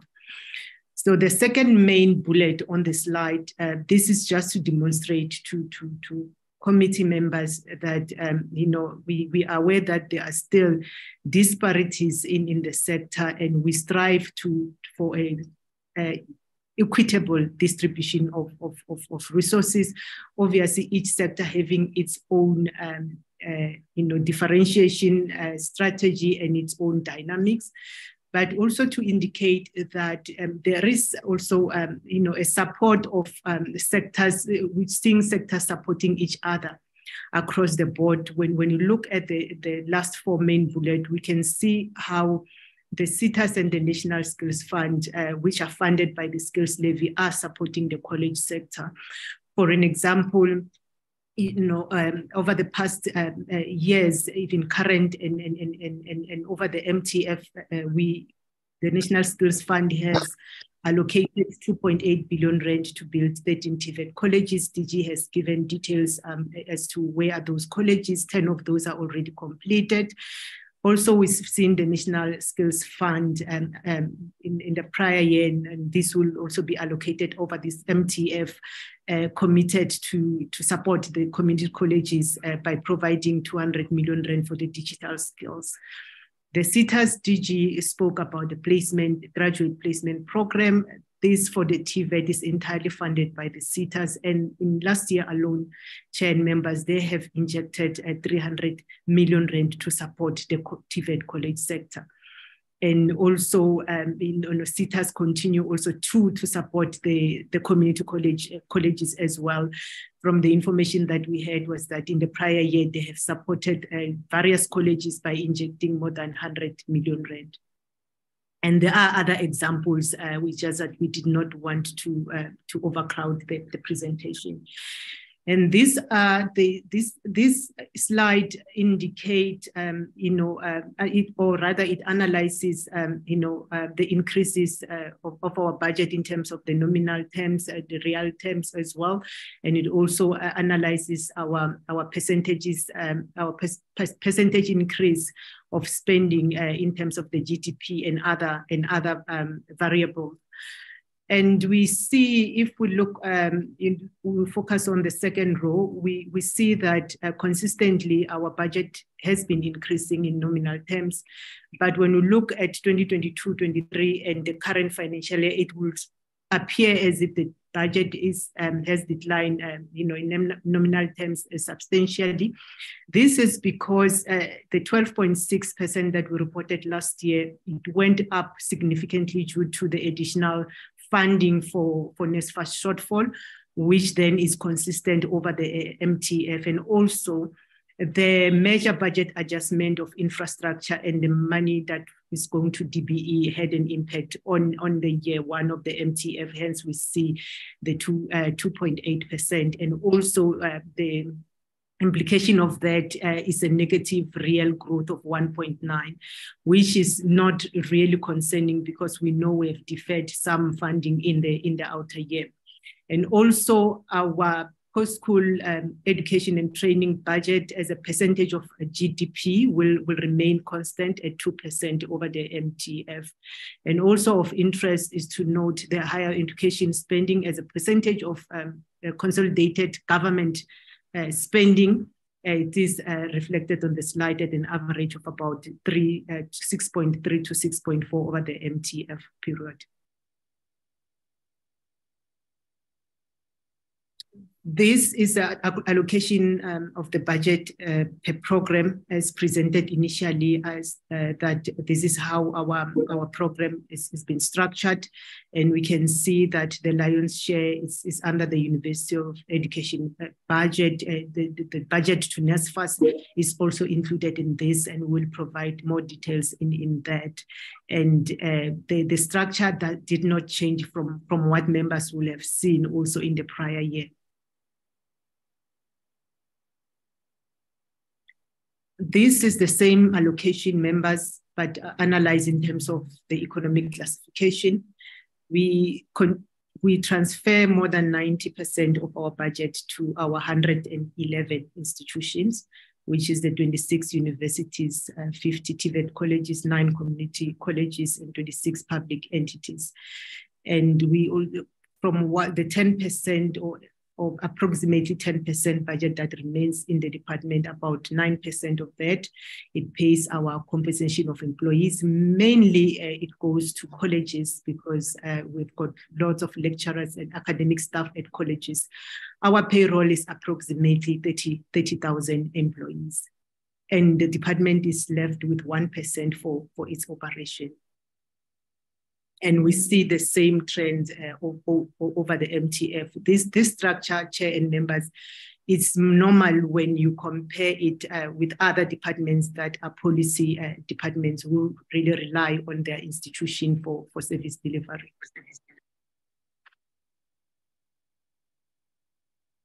We can move. So these are the details of the 90% transfer funds that I spoke, spoke about. And you can see on the screen that uh, you know, the first two rows, universities and NSFAS, this is a budget that is mainly under, under program three that I've presented in the previous slide. But linking to what DG was mentioning earlier on, we can see the NSFAS budget just on those years that have been projected on the slide. When you, you look at 2022, 23, NSFAS had about 46 billion, and, and now in the outer year of the current MTF, we're at 54 billion. It's almost 10 billion more than uh, we had allocated just within uh, the space of three years. It, it really shows how much this, the, the I mean, um, the budget of the scheme is increasing, the, the higher rate at which is increasing.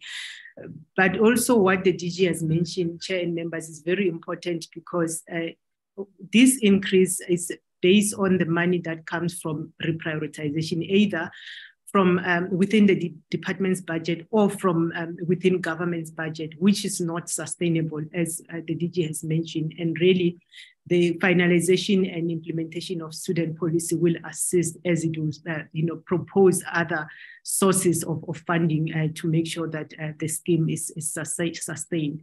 And also to mention there, when you look at the university uh, budget, it, it, it decreased from what where it was in, in the prior year and it increased slightly in 2024-25 and again remained constant in the outer year. And as a department, we're very cautious, chair and members, that um, as much as it's important to increase the scheme, but it's also important to sustain the universities because most of the reprioritization that the department um, has done in the past to fund in the NSFAS shortfall will have been cut from university budget. So we're also conscious that uh, this kind of trend can't go beyond the MTF because then it will mean that we are supporting the scheme um, at the expense of universities and we might run the risk of uh, diminishing the quality of learning and, and, and teaching in those, in those institutions. This is about the skills levy, the details. I'm not going to go through that. Giva, you can move.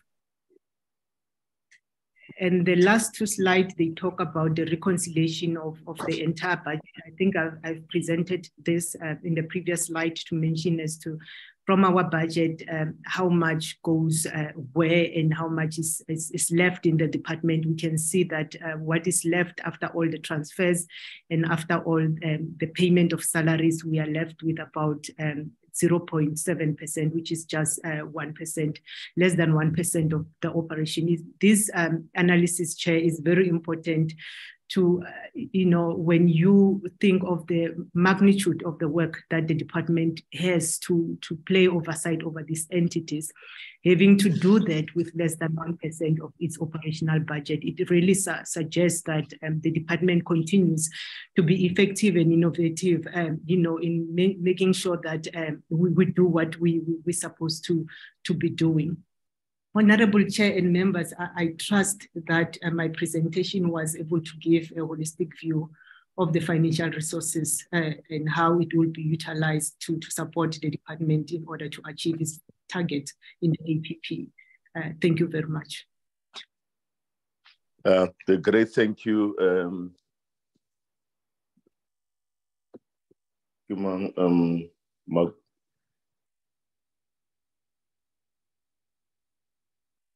the CFO and Dr. Sishi, thank you very much for your elaborate presentation. You gave quite a lot of details and and it's actually inspiring to to know that there is something happening and something not not just something happening but something something positive happening in the higher education sector and we we thank you and remember that's the presentation from the department um load shedding is the lights are off here and uh, you'll understand why uh, the videos are off. Um, that's the presentation. There were some challenges um, just during the opening of uh, universities during the beginning of the uh, academic year. We have written quite a number of letters to the department requesting assistance uh, with students who will be, in some instances, you know, uh, children will have, students will apply to a university and then you are um, you are you are you are you are granted permission to study at the university and they give you even a student number provisionally uh, pending the new pending the results and when results came, some of the students had passed but the university had taken their they were no longer on the that is they they changed the agreement, you know, the letters that they wrote to the students that they admitted at the university. And suddenly when they go their names are no longer on the system, you know. And and then as as members of parliament, people in our constituencies then start calling, you know, to say, uh, we suspecting that there is, you know, they saying the new word is corruption this nowadays. Anything that doesn't go well, it's it's as uh, people suspect that there is corruption, you know, and that how does a student get admitted, and then when you go there, you are told your name is not on the list, even when we have a letter saying that you your application was um, was a success. We we've engaged with the department um, through our our committee secretary and from in my case, it was with my uh, executive assistant. You know, um, we will get answers. Sometimes we don't, uh, but this worries because then people start making follow-ups, and we are found as a committee or as politicians uh, to be wanting, uh, you know, to be found wanting on this because we don't get the answers. Even when we get the answers, you know, it's they, they don't seem to be very accurate because then you send the student back to the university and when they come back, they get the same response that they got initially when we uh, first inter you know when we first interacted with the with the with the department. So i'll say that you know give such matters a, you know quite a serious priority. Particularly if if a you know requests come from members of parliament, you know, because if we don't get our responses on time, then it means what about those who are not members of parliament? You know, if you if it takes this long to get for us to get answers, then it shows that by implication is that members of the public possibly may be at a worse situation than we are at. Uh, honorable members, these are the questions and the, the presentations, and I'll I'll I'll monitor this from the from the phone. Uh, if there are hands, members can can raise hands to to engage with the with the department. I see the name of Ndongeni and I see Honorable Lutuli uh, Honorable Christians. Who else are they? The only three names. Oh, and Honorable Nkosi, Ethel Nkosi, Ndongeni, Christians. In that order, over to you, uh, Honorable members.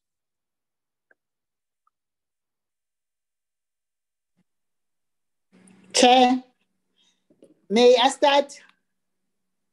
Yes, Honorable Ndongeni, you may. Okay, thank you, Chair. Good morning, Chair. Good morning, members. Good morning, officials, DG, and the crew. Okay, my question is on page 35 on, on APP of 2023-24 notes, implement plan of the phase rollout of the safety and security min minimum norms and standard at TVET colleges approved by the minister by 30th June 2023. Page 35 also notes minimum norms and standards for safety and security, focusing on university approved by minister by the 31st March 2024. Please share unique achievement linked to safety and security in the PSET sector, which can potentially be scaled up and observed by the department during the oversight. The second one on page 52 on 2324 APP, PSET in, in granted planning framework approved by Director General by the 31st March 2024. Can you please elaborate on the, on the PSET integrated planning frame and how lessons from the previous financial year have been used to enhance the framework to be approved by 31st March 2024. The last one, Chair, on page 65 of the APP, revised draft fee increase regulator frame submit, submitted to the minister to approve by 31st October 2023. Page 66, no student funding implementation framework approved by the minister for submission to cabinet by the 1st October 2023.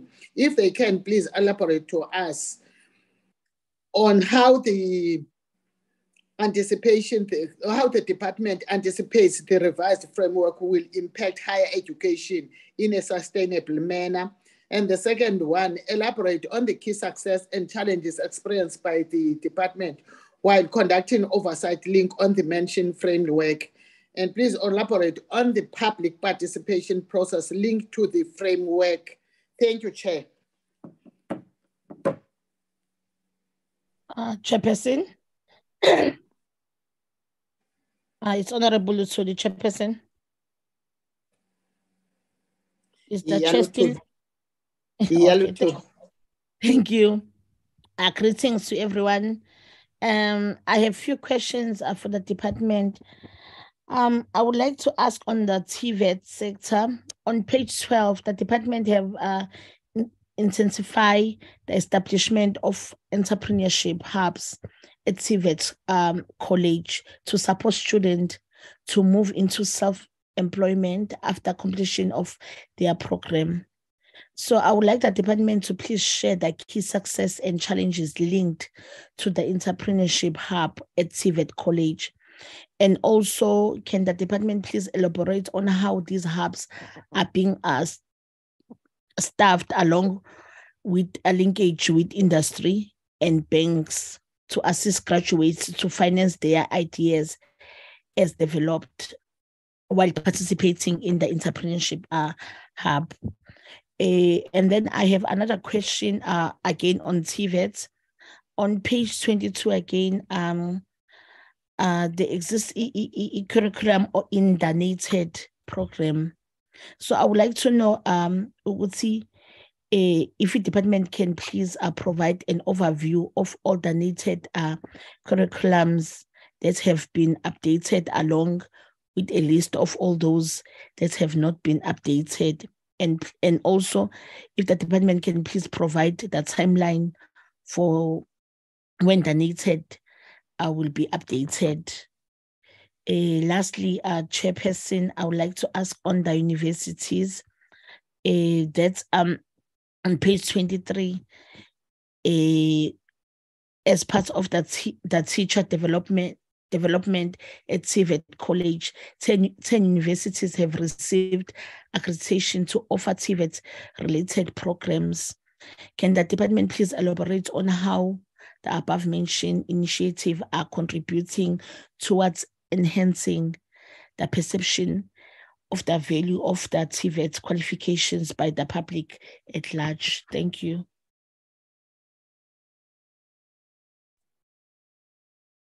Thank you, Chairperson. It's Honorable Christians. I'm going to continue. To the department, I just first of all want to um, go to the issue of the Fort Hare campus. And I know there wasn't mention made of, for example, the National Task Force team that was established. I just want further clarity on the proceedings at Fort Hare. So my first question is, you know, just an update on the investigation into the corruption claims at the Fort Hare University. Has any progress been made so far?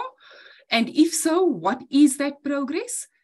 And then with regard to the National Task Force to I know it was mentioned that it was um, established to improve the safety and security in institutions. What is the mandate and the scope of this task force team that has been established? And then with regard to whistleblowers, how and what is the department doing to protect whistleblowers at departments of higher education as this problem seems to be escalating? And obviously, we would like to protect our professional people at institutions of higher learning. So, what is being done to protect those whistleblowers who expose uh, fraud and corruption at higher education institutions? And then also, I just want the department to give us an update um, on the ongoing investigations into corruptions and allegations at the other institutions, such as the Mangosuthu University of Technology, the University of South Africa, the University of Zululand, and the Mpumalanga University of Technology. What is happening with regard to those investigations into corruptions, if we can have an update on that as well. Then with regard to safety of our students at campuses, now recently in the media, there has been made mention of escalating violence and attacks on our tertiary education institutions. And again, it's nothing new. It's been coming on for years. Students are not safe at our tertiary, education institutions. And obviously, I think it's time that something be done around that, especially for our women, but obviously also for everyone, men, um, educators, etc. So from the department side, what initiatives and programs are in place to enhance campus security? Does each campus have a dedicated campus security plan? I mean, they obviously should have, but in some instances, it's not working. Can the department elaborate a little bit on this? Is efficient and effective oversight being done on that at campuses? And if so, what has been the outcome of those investigations? And then, obviously, how is the department planning to address these social issues and pathologies that is contributing to the violence and rape and murder on our campuses, which is growing and not seeming to ab- be uh, abating.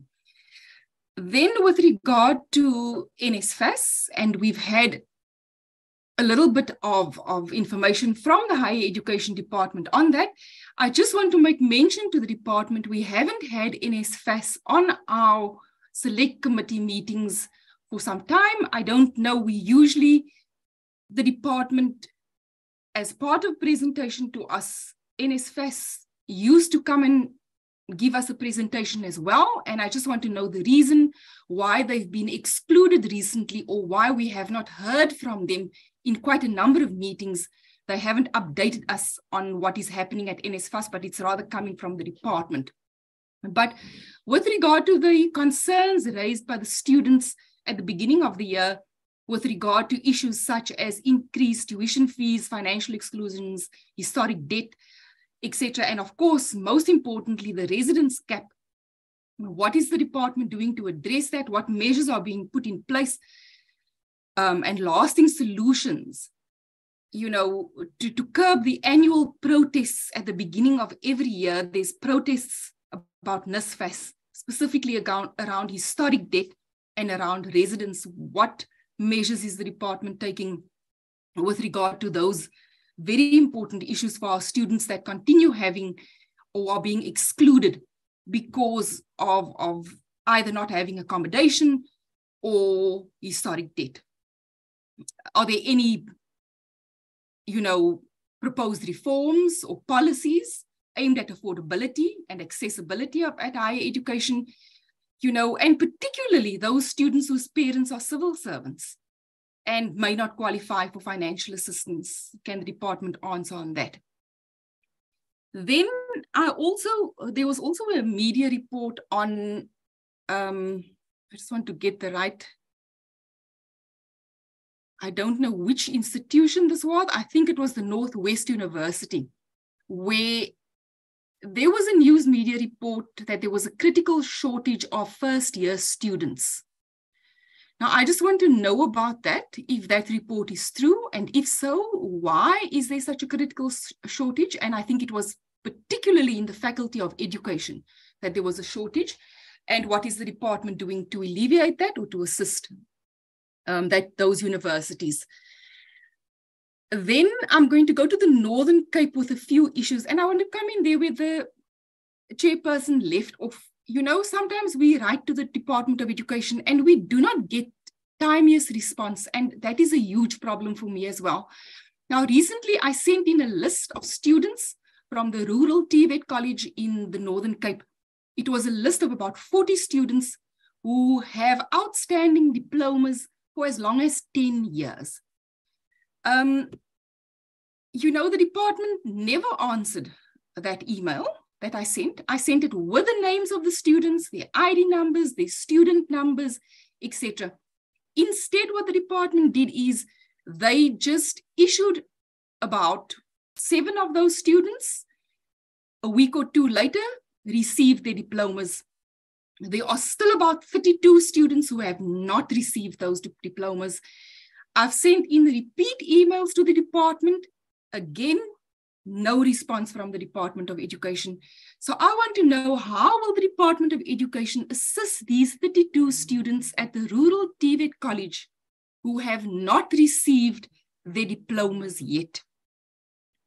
Then again, at the rural TVET college in, in Upington, with regard to the trade tests, and one of the presenters um, really gave us a broad overview of, of trade tests and how important it is, but also a huge issue there with regard to trade tests.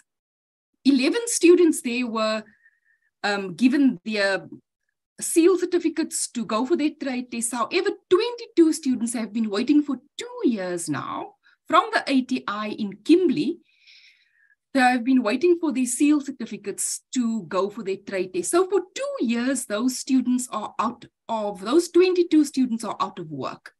Is there any way we have also, once again, written to the department with regard to those 22 students, who they are, what they are waiting for? Again, no response.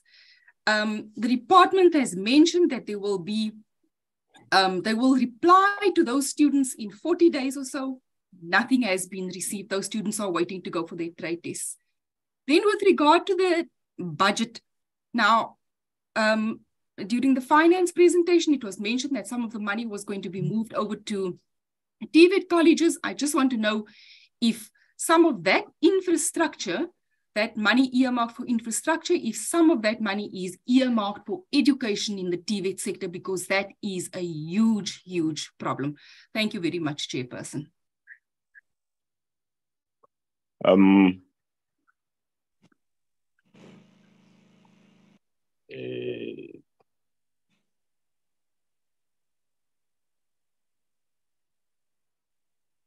uh, other members, are you able to hear me? Yes, sir. Okay, you know, thanks a lot. Um, I just want to make a full, just, you know, a little addition on what the Honorable Christians has raised, particularly with the you know, late or, or non-response to our requests. Um, the TVET in Sekhukhune have had lots of problems with the results of, I mean, um, certificates. You know, as a result, you know, people complete.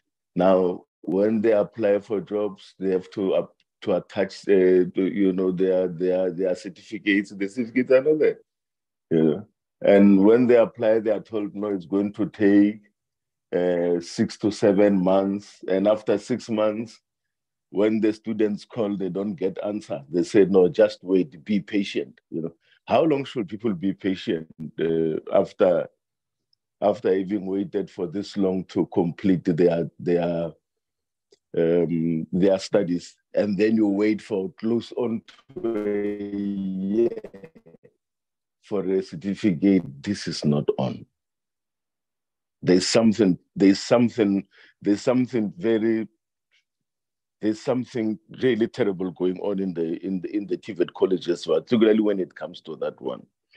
Um, I was going to request that, you know, when we, in the building of these uh, new universities, as part of the agreement, we should be negotiating that those students who have um, qualified, you know, as either electricians, uh, builders, and or you know um, plumbers, uh, you know, whoever you appoint has to take some of the kids in, you know, of your graduates in.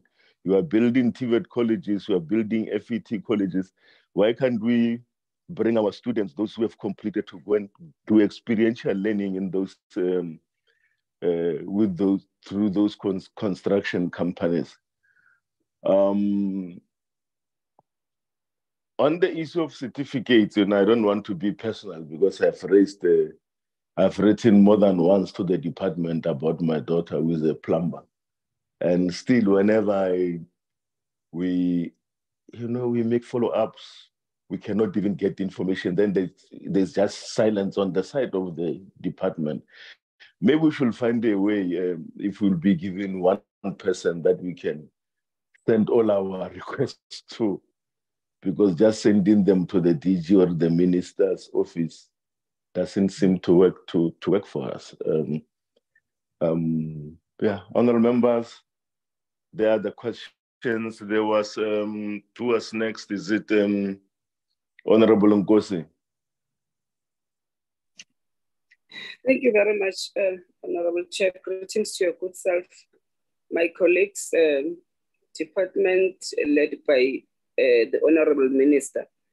Honorable Chair, I've got a few questions uh, for the departments. We would like to welcome their presentation that they presented to us. It was detailed and informative. Thank you so, so much for that. My first question is that we appreciate the complete TVET college as part of up upgrading the infrastructure. But I want to check with the department, when can we see the completeness of all TVET uh, colleges that are under construction. To the two new universities, universities that are projected, what is maybe the size of, of it in terms of the capacity and its ability to respond to the pertinent challenges of the present moment.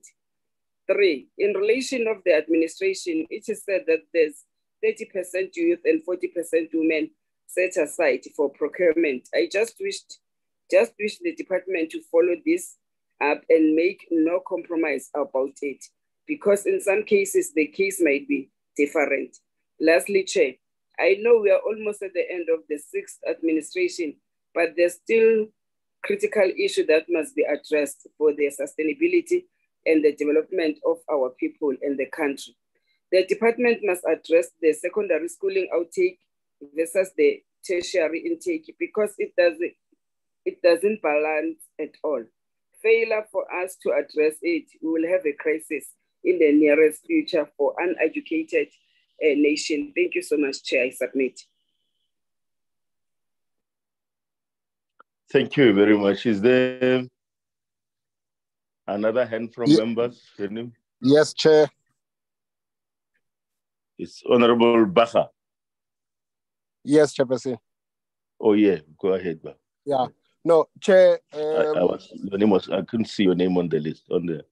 Yeah. All right. No, Chair. The the the first thing for me, I think uh, the issue around NSFAS can cannot be overemphasized because I think the, the, the, the much unrest that we've seen in our universities revolve around funding.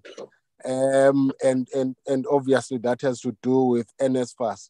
Um, so without repeating what other members had raised, but I think it's important to get to a point where uh, we can hear what the real issues are around NSFAS because um, um, finances and, and, and funding is the main problem uh, that saw uh, some institutions um, having to uh, close down for students to go back home in order for those things to be resolved. So um, that's that's the, the first point, Chair. The second one, Chairperson, um, there was a there's a TV program that I watched. I think it was last week, um, wherein there's um, students, and I think this was mentioned uh, by one or two other members as well, uh, who have been in TVET colleges with no certificates to show for it, to a point that there's a conduct person within, um, I don't know whether it's the department or it's an outside office, where they have to pay 2,000 to 2,500 rands in order to get their certificates. And those mm. that hmm. have paid this amount, which is outside of the actual system of payment, they were able to get uh, their, their, their certificates. I'm not sure whether the department is aware of it. And, and if it is so, what steps are being taken to address such fraudulent activities conducted by people who are supposed to be giving assistance to students to get their qualifications and be able to get jobs? And I think specifically it was more students around KZN, if I'm not mistaken, who were paying out these monies in order to get their, their certificate. I would like to get a comment from the department about it and what action is being taken for those who are supposed to be assisting students uh, in, in, in, in getting their certificates in order to secure employment, who then have to make extra payments aside of the actual system in order for them to secure their results. Thank you, Chairperson. Thanks, Honorable Baha. Is there another hand? Okay. Now, what we'll do, we'll give to the, the department.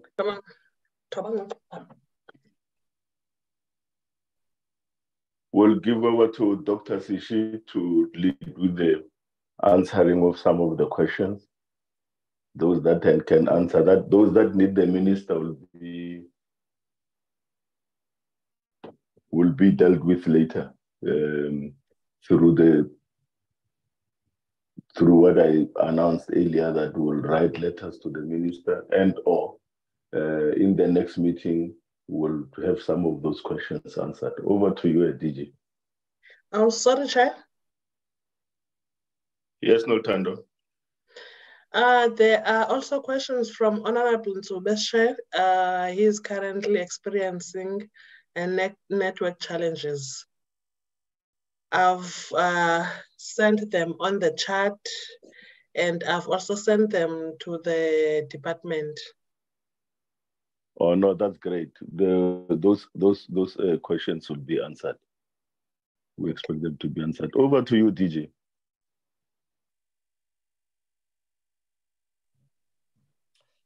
Um, Honorable Chair, uh, we appreciate the the questions. Uh, they are a, a great reflection on uh, what else we can still do to improve on our on our service delivery standards.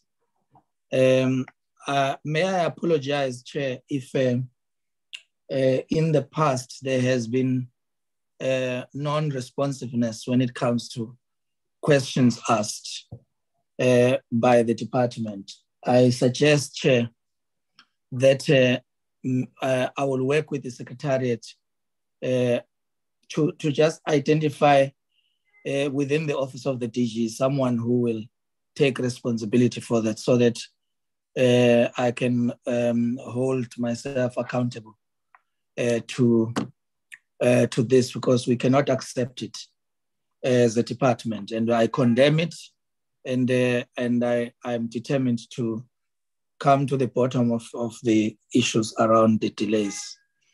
Uh, and and this comes with a very humble apology uh, for the inconvenience caused uh, to so many people in uh, who would be affected. allow me, Chair, to come at the end, I will give my colleagues, the CFO and Mr. Mgiba and DDG Gasa, an opportunity to cover the questions and I will uh, identify those they've not covered and I will answer them at the end. Uh, I will start with you, Mr. Mkiba.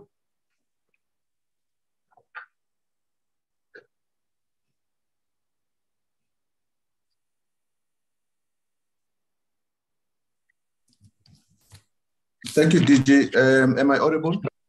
Yes. Yes, you are.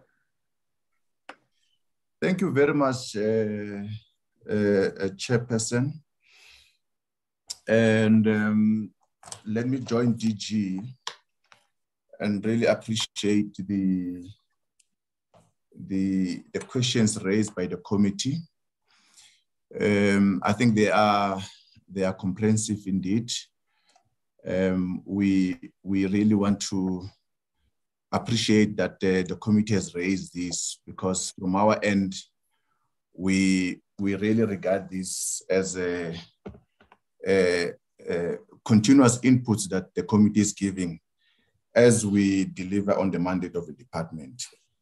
I think the, the, the Honorable Ndongeni raised pertinent questions uh, around the, the issue of security measures and the commitment that uh, we are making as part of this APP to try and um, uh, address uh, this issue uh, within our institutions. And I think clear in our APP, it's a commitment we, we are making in respect, in respect to this area. And um, um, I think we have committed to rolling out the implementation of safety and security minimum norms and standards, as DG um, uh, indicated. We, we are glad to really share uh, with the committee um, the, the work that has uh, uh gone into this uh, in, in ret written for, form. Um, suffice to say that um, um, as per our commitment in the APP, the rolling out is targeting TVET colleges and, and particularly those that, that um, would have been identified with the intention of um, widening the, the, the, roll, the rollout um, um, uh, at the later stage, also to include our universities. The, the, there was also a, a comment about um, the integrated planning um, framework that we are we have committed to, and I think uh, uh, correctly so. For the first time, we have had to commit to this, um, uh, and thanks to the leadership um, of the Director General, because colleague, I mean, um, honorable members would um, uh, recall that the white paper itself, uh, the white paper for PSET 2013, has identified a number of key policy directives. And DG spoke to these, uh, which include increasing and expanding access and enrollments, improving quality of provisioning, but also through capacity building that improves pedagogical practices, and um, also the introduction of qualifications um, uh, for college lecturers uh, in our, in our uh, universities, um, but also in the main improving articulation uh, between institutions and their programs. That on itself calls for, for the sector to plan together, calls for the sector to resonate um, uh, um, uh, with itself in terms of the, the, the subsectors. And DG, um, led by the DG, the department has now committed that uh, it can be uh, that we've been um, planning in silos, um, henceforth, we will need to then ensure that our planning is integrated. And for that reason, um, DG has put together a, a, a, a sector uh, planning committee, which is comprised of um, sector representatives, but also the National Planning Commission uh, representatives to really guide and steer um, uh, how the, the sector is going to plan uh, uh, to deliver on, on, on the mandate of the department and the sector and the impact that that will have on the sector um, as a whole. So, so one of the key things would really to ensure that this committee is also informed by a particular framework, which would then guide how the work of the department is going to, to, to, to unfold. And then the, there was a, a, a, a, a, a, a, question that was raised um, in relation to, uh, I think it was raised by um, um, uh, Honorable um, uh, Nkosi around the, the, the completions of uh, TVET colleges. I think in the presentation, uh, DG did um, reflect on uh, the, the, the, colleges as part of the infrastructure delivery program that have been uh, completed across the, the, the, provinces. And also in the presentation, uh, there was a reflection on the work um, at hand, which is going to be completed uh, in the financial year uh, uh, under review. Um, and, and he has shown the stage at which such um, projects are at in terms of planning, in terms of feasibility studies, but also in terms of the work uh, that is being um, um, uh, uh, planned um, as part of the completions of those. I think the question there is when will be the rest of the the the the the the, the, um, the, the, the committed um, college campuses will be will be completed. I think the commitment is really to ensure that um, in the in the in the list provided this year, uh, the the uh, DG did indicate that um, there are a number of uh, colleges that um, uh, uh, are earmarked and are targeted for, for, for, for initiation this year, but also for completion this year. We will certainly come back to the committee to, to give progress um, and um, uh, as, as and when the program unfolds. I think this was also a commitment that the DG has made during his, his uh, uh, presentation. DG, I think um, I will leave the rest of the other questions to DDG Gasa and um, and um, and the, the, CFO to to respond to. I may have to come back um, at a later stage if if if some of these uh, uh, would have not been touched. Thank you, DG.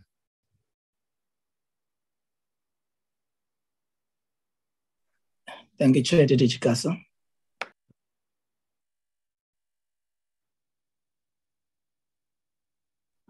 Greetings to the honorable members. Thank you very much, uh, DG, for the opportunity to respond. Uh, honorable, let me please echo uh, the DG's appreciation for the questions raised and the commitment that we are making uh, to ensuring that uh, the challenges that have been experienced in the past regarding uh, questions that have been raised are addressed. I will speak to about five issues, uh, DG, with your permission, and hope that I, I address uh, some of the key questions that have been raised.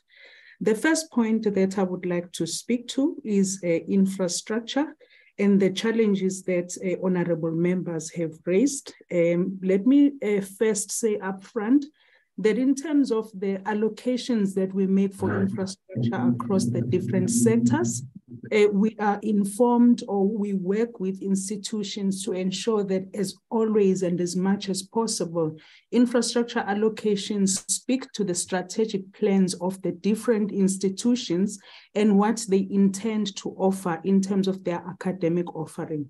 So to respond to the question that an honorable member raised regarding the extent to which allocations speak to education, what we would, for example, try to ensure is that the extent to which a program that is offered, for example, through the University of Mpumalanga, our infrastructure allocation speaks to the strategic plan of the university, what it intends to offer in terms of academic offering, what is possible in terms of scale and scope, and then we make sure that, as the DG indicated, we align the infrastructure appropriately to that, and we ensure that we provide a very specific uh, uh, oversight.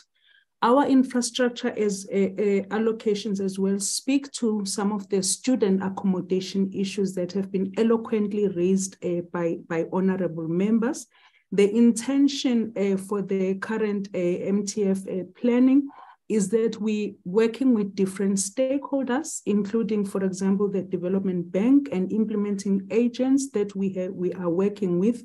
We intend to ensure that as much as possible, our infrastructure allocation addresses the student accommodation shortages that both the minister and the DG have spoken to. We are concerned about the shortages of that, but we have put together a, a student accommodation infrastructure plan going forward that will uh, go some way towards addressing some of the shortages, the complaints that honorable members have been receiving.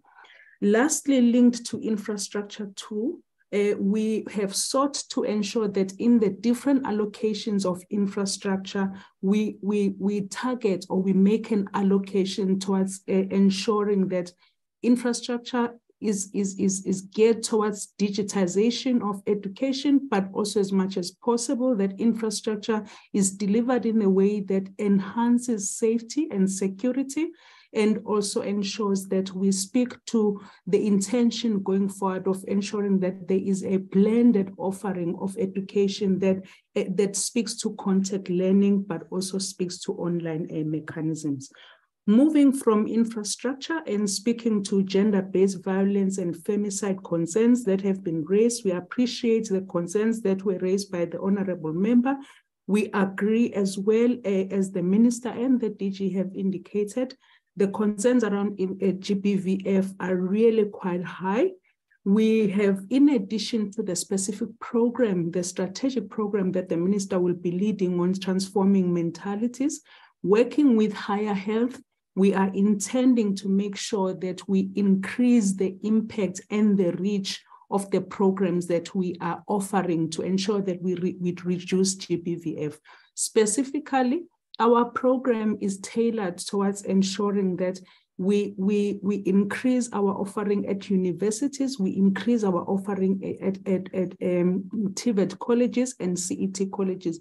For example, we could provide a more detailed report in terms of just how many students and learners uh, and lecturers we reach per year working with higher health to ensure that the message of the fact that we, we abhor a, GBVF and it stands directly against our intentions for an efficient PSET system is, is one matter we would like to even engage the, the, the, the, the, the committee uh, further on. But mainly, as the CFO indicated, we're increasing allocations to higher health as a partner of ours, and we're wanting to make sure that as much as possible, there is a reduction in the, in the scale and the numbers of GBVF that we're currently facing.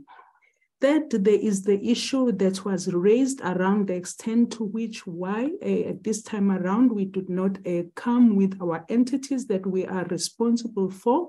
And uh, we were making a commitment, as the DG has indicated, to addressing this. What the DG has led, has, has, has introduced as a process that we're working towards is to ensure that agencies such as NSF and NSFAS, who are so critical in, our in the delivery of our work, are held to account by ourselves and we manage the extent to which there are governance issues and there are issues around reporting uh, going forward. Perhaps uh, from my side, uh, DG, the last point I would like to speak to is the commitment that the DG has made around uh, the fact that we, we would respond to issues, for example, such as certification uh, that, that were raised quite sharply by honorable members.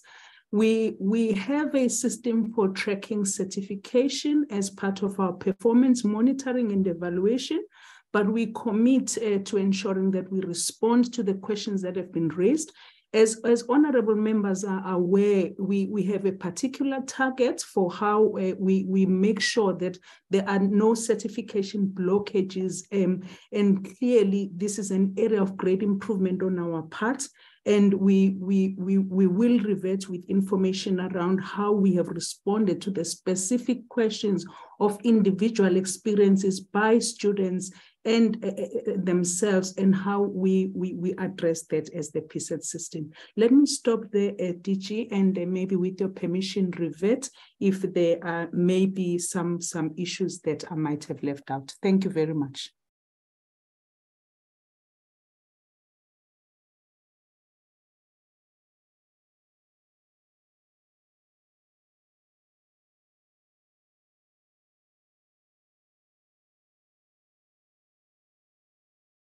DG?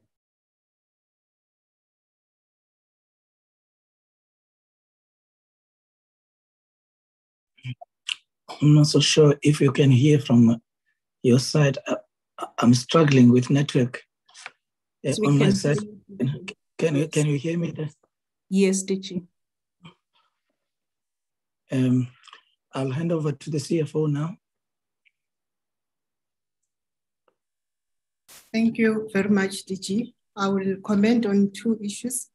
The first one was raised by Honorable Christian. DDG Gasa uh, already gave an input on that, and I will wish to, to add and the issue of um, infrastructure. The question um, was specifically directed to the allocation that is made um, to the TVET infrastructure. And I wish to add that we, we have two sources of, of funding uh, in relation to the TVET infrastructure. And the first part is the funding from the voted fund that goes to each of the 50 TVET colleges as part of our subsidies. As the DDG Gasa has mentioned, this is mainly linked to the plans of, of, of, of the colleges and the funds are mainly um, for the maintenance of the existing infrastructure across the board, it, be it academic infrastructure, student accommodation, etc. That's for the maintenance.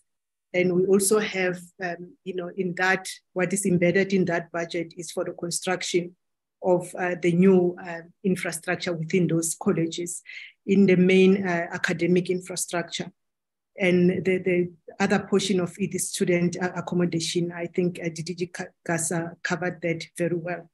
And then the other, the second source of, of, of um, funding is, is from the National Skills Fund. Uh, that's where I have presented the, the 2.5, sorry, 2.8 billion rand investment that has been made for, for the 13 uh, colleges. So this is for the entire campus, excluding the student housing. It will then include the admin block, the classrooms, the labs, etc.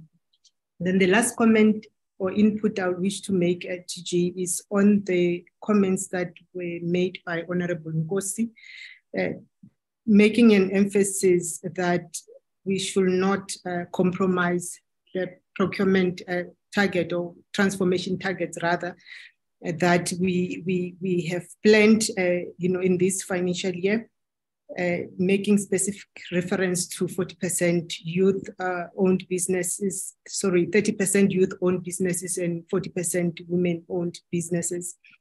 We are happy, Honorable Member, that the new 2022 procurement, preferential procurement framework regulation now allows us to set aside the procurement to those uh, targeted groups as opposed to um, you know what we had in the past. Members will, will remember uh, the long uh, you know court struggle between um, the minister of finance and Afribusiness uh, around the issues of legislation which was really a hindrance for us to to um, advance those transformation goals. I wish to mention that since the promulgation of um, this uh, regulations, uh, the department had an opportunity to amend its um, supply chain management policy and also to mention that since the beginning of the financial year, we have started to set aside procurement, uh, you know, across the board, be it uh, through the quotation or through the competitive uh, bidding process. Thank you very much.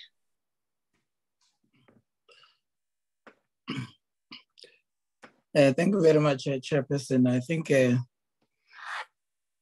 my colleagues have tried to cover the, the scope of the questions, but um, allow me to, to make a few closing comments as part of our response to to you and honorable members.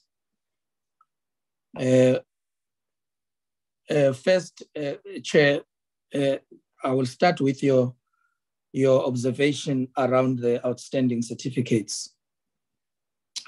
Um, we take the responsibility to look carefully at this matter of certificates, which are not raised for the first time. Uh, is the second time these matters are raised. But I think what has confused us in the department is that uh, there was a project uh, on uh, you know outstanding certificates with the report which was done in collaboration with SETA, which has now reported that 99.98% uh, of all certificates that were outstanding have been uh, um, you know issued. And that created an impression that uh, we have won the battle of outstanding certificates.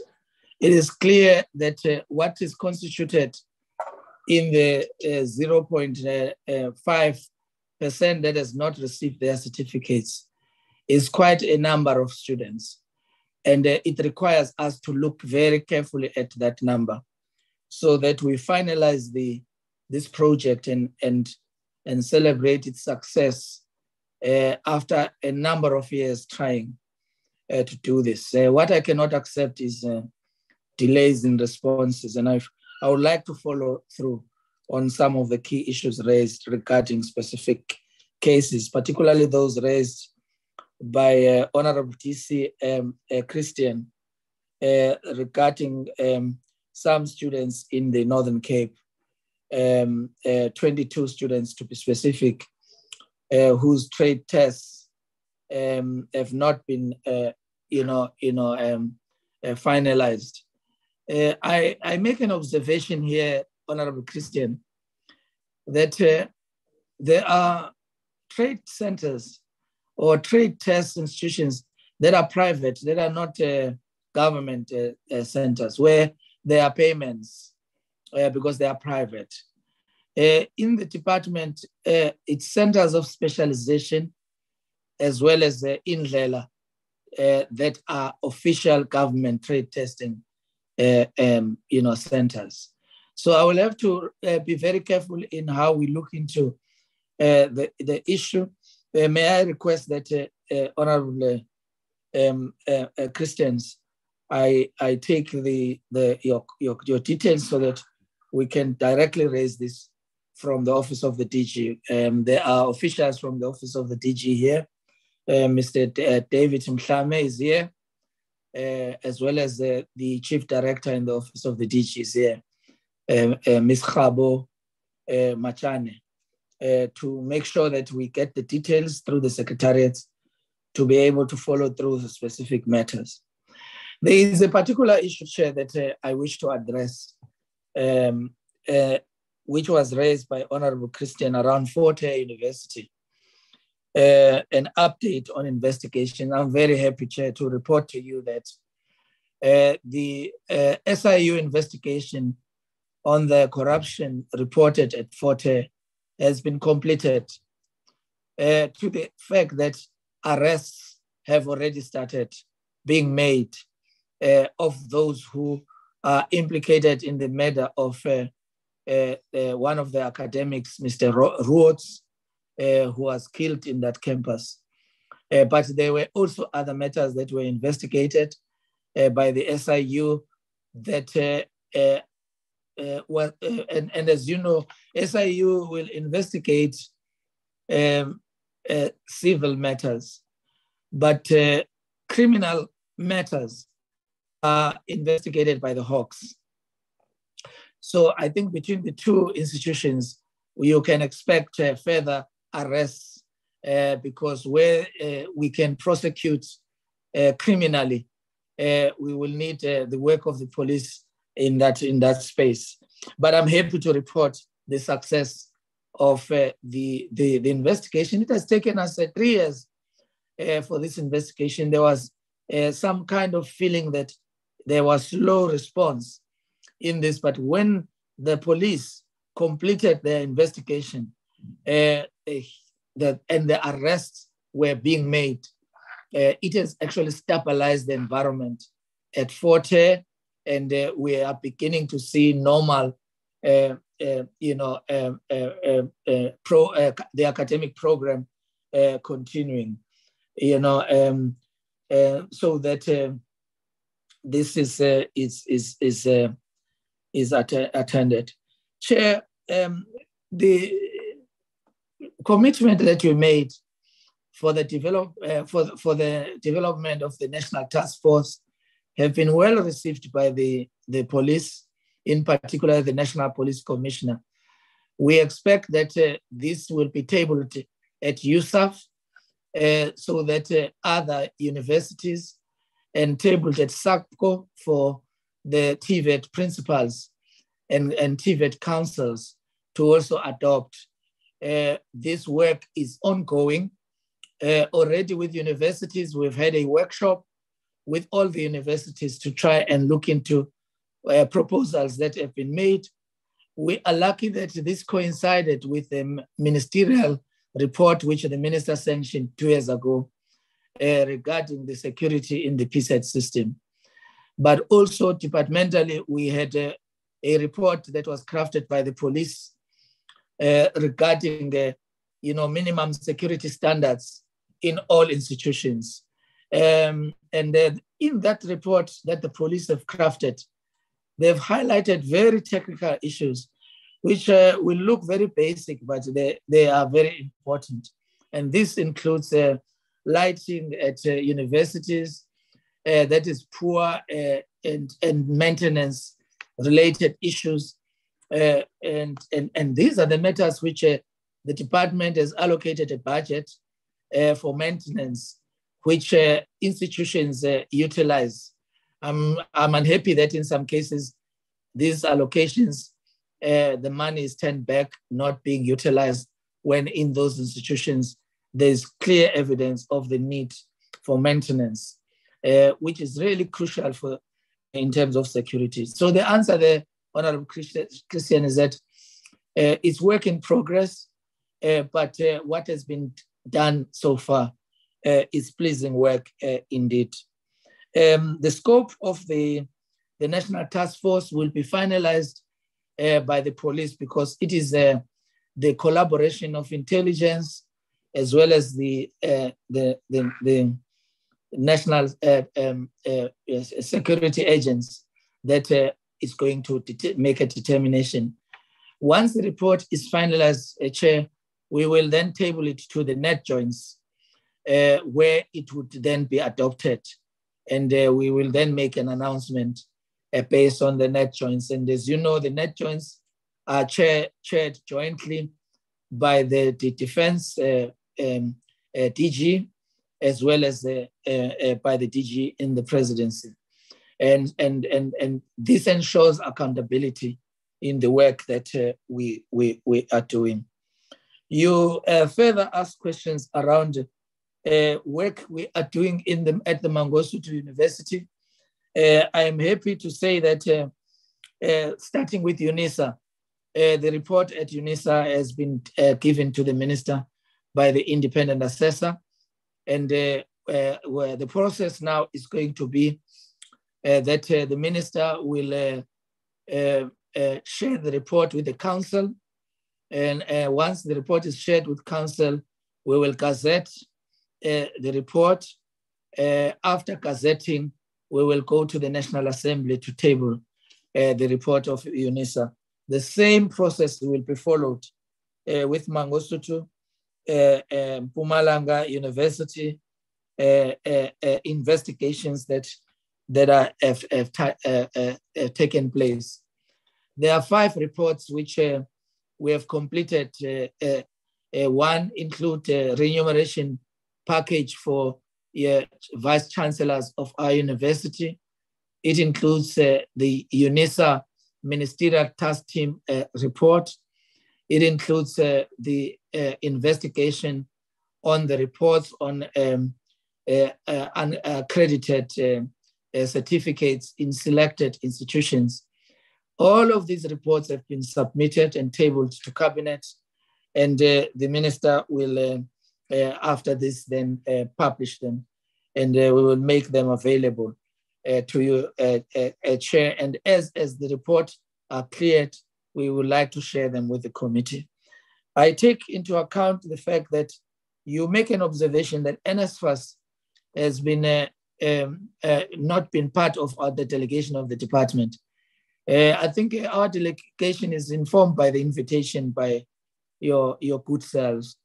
And uh, in future, if it is required of us to bring any entity, not only NSFAS, we commit to ensuring that uh, our entities come and account fully uh, before the select committee, uh, Honorable uh, uh, Christian.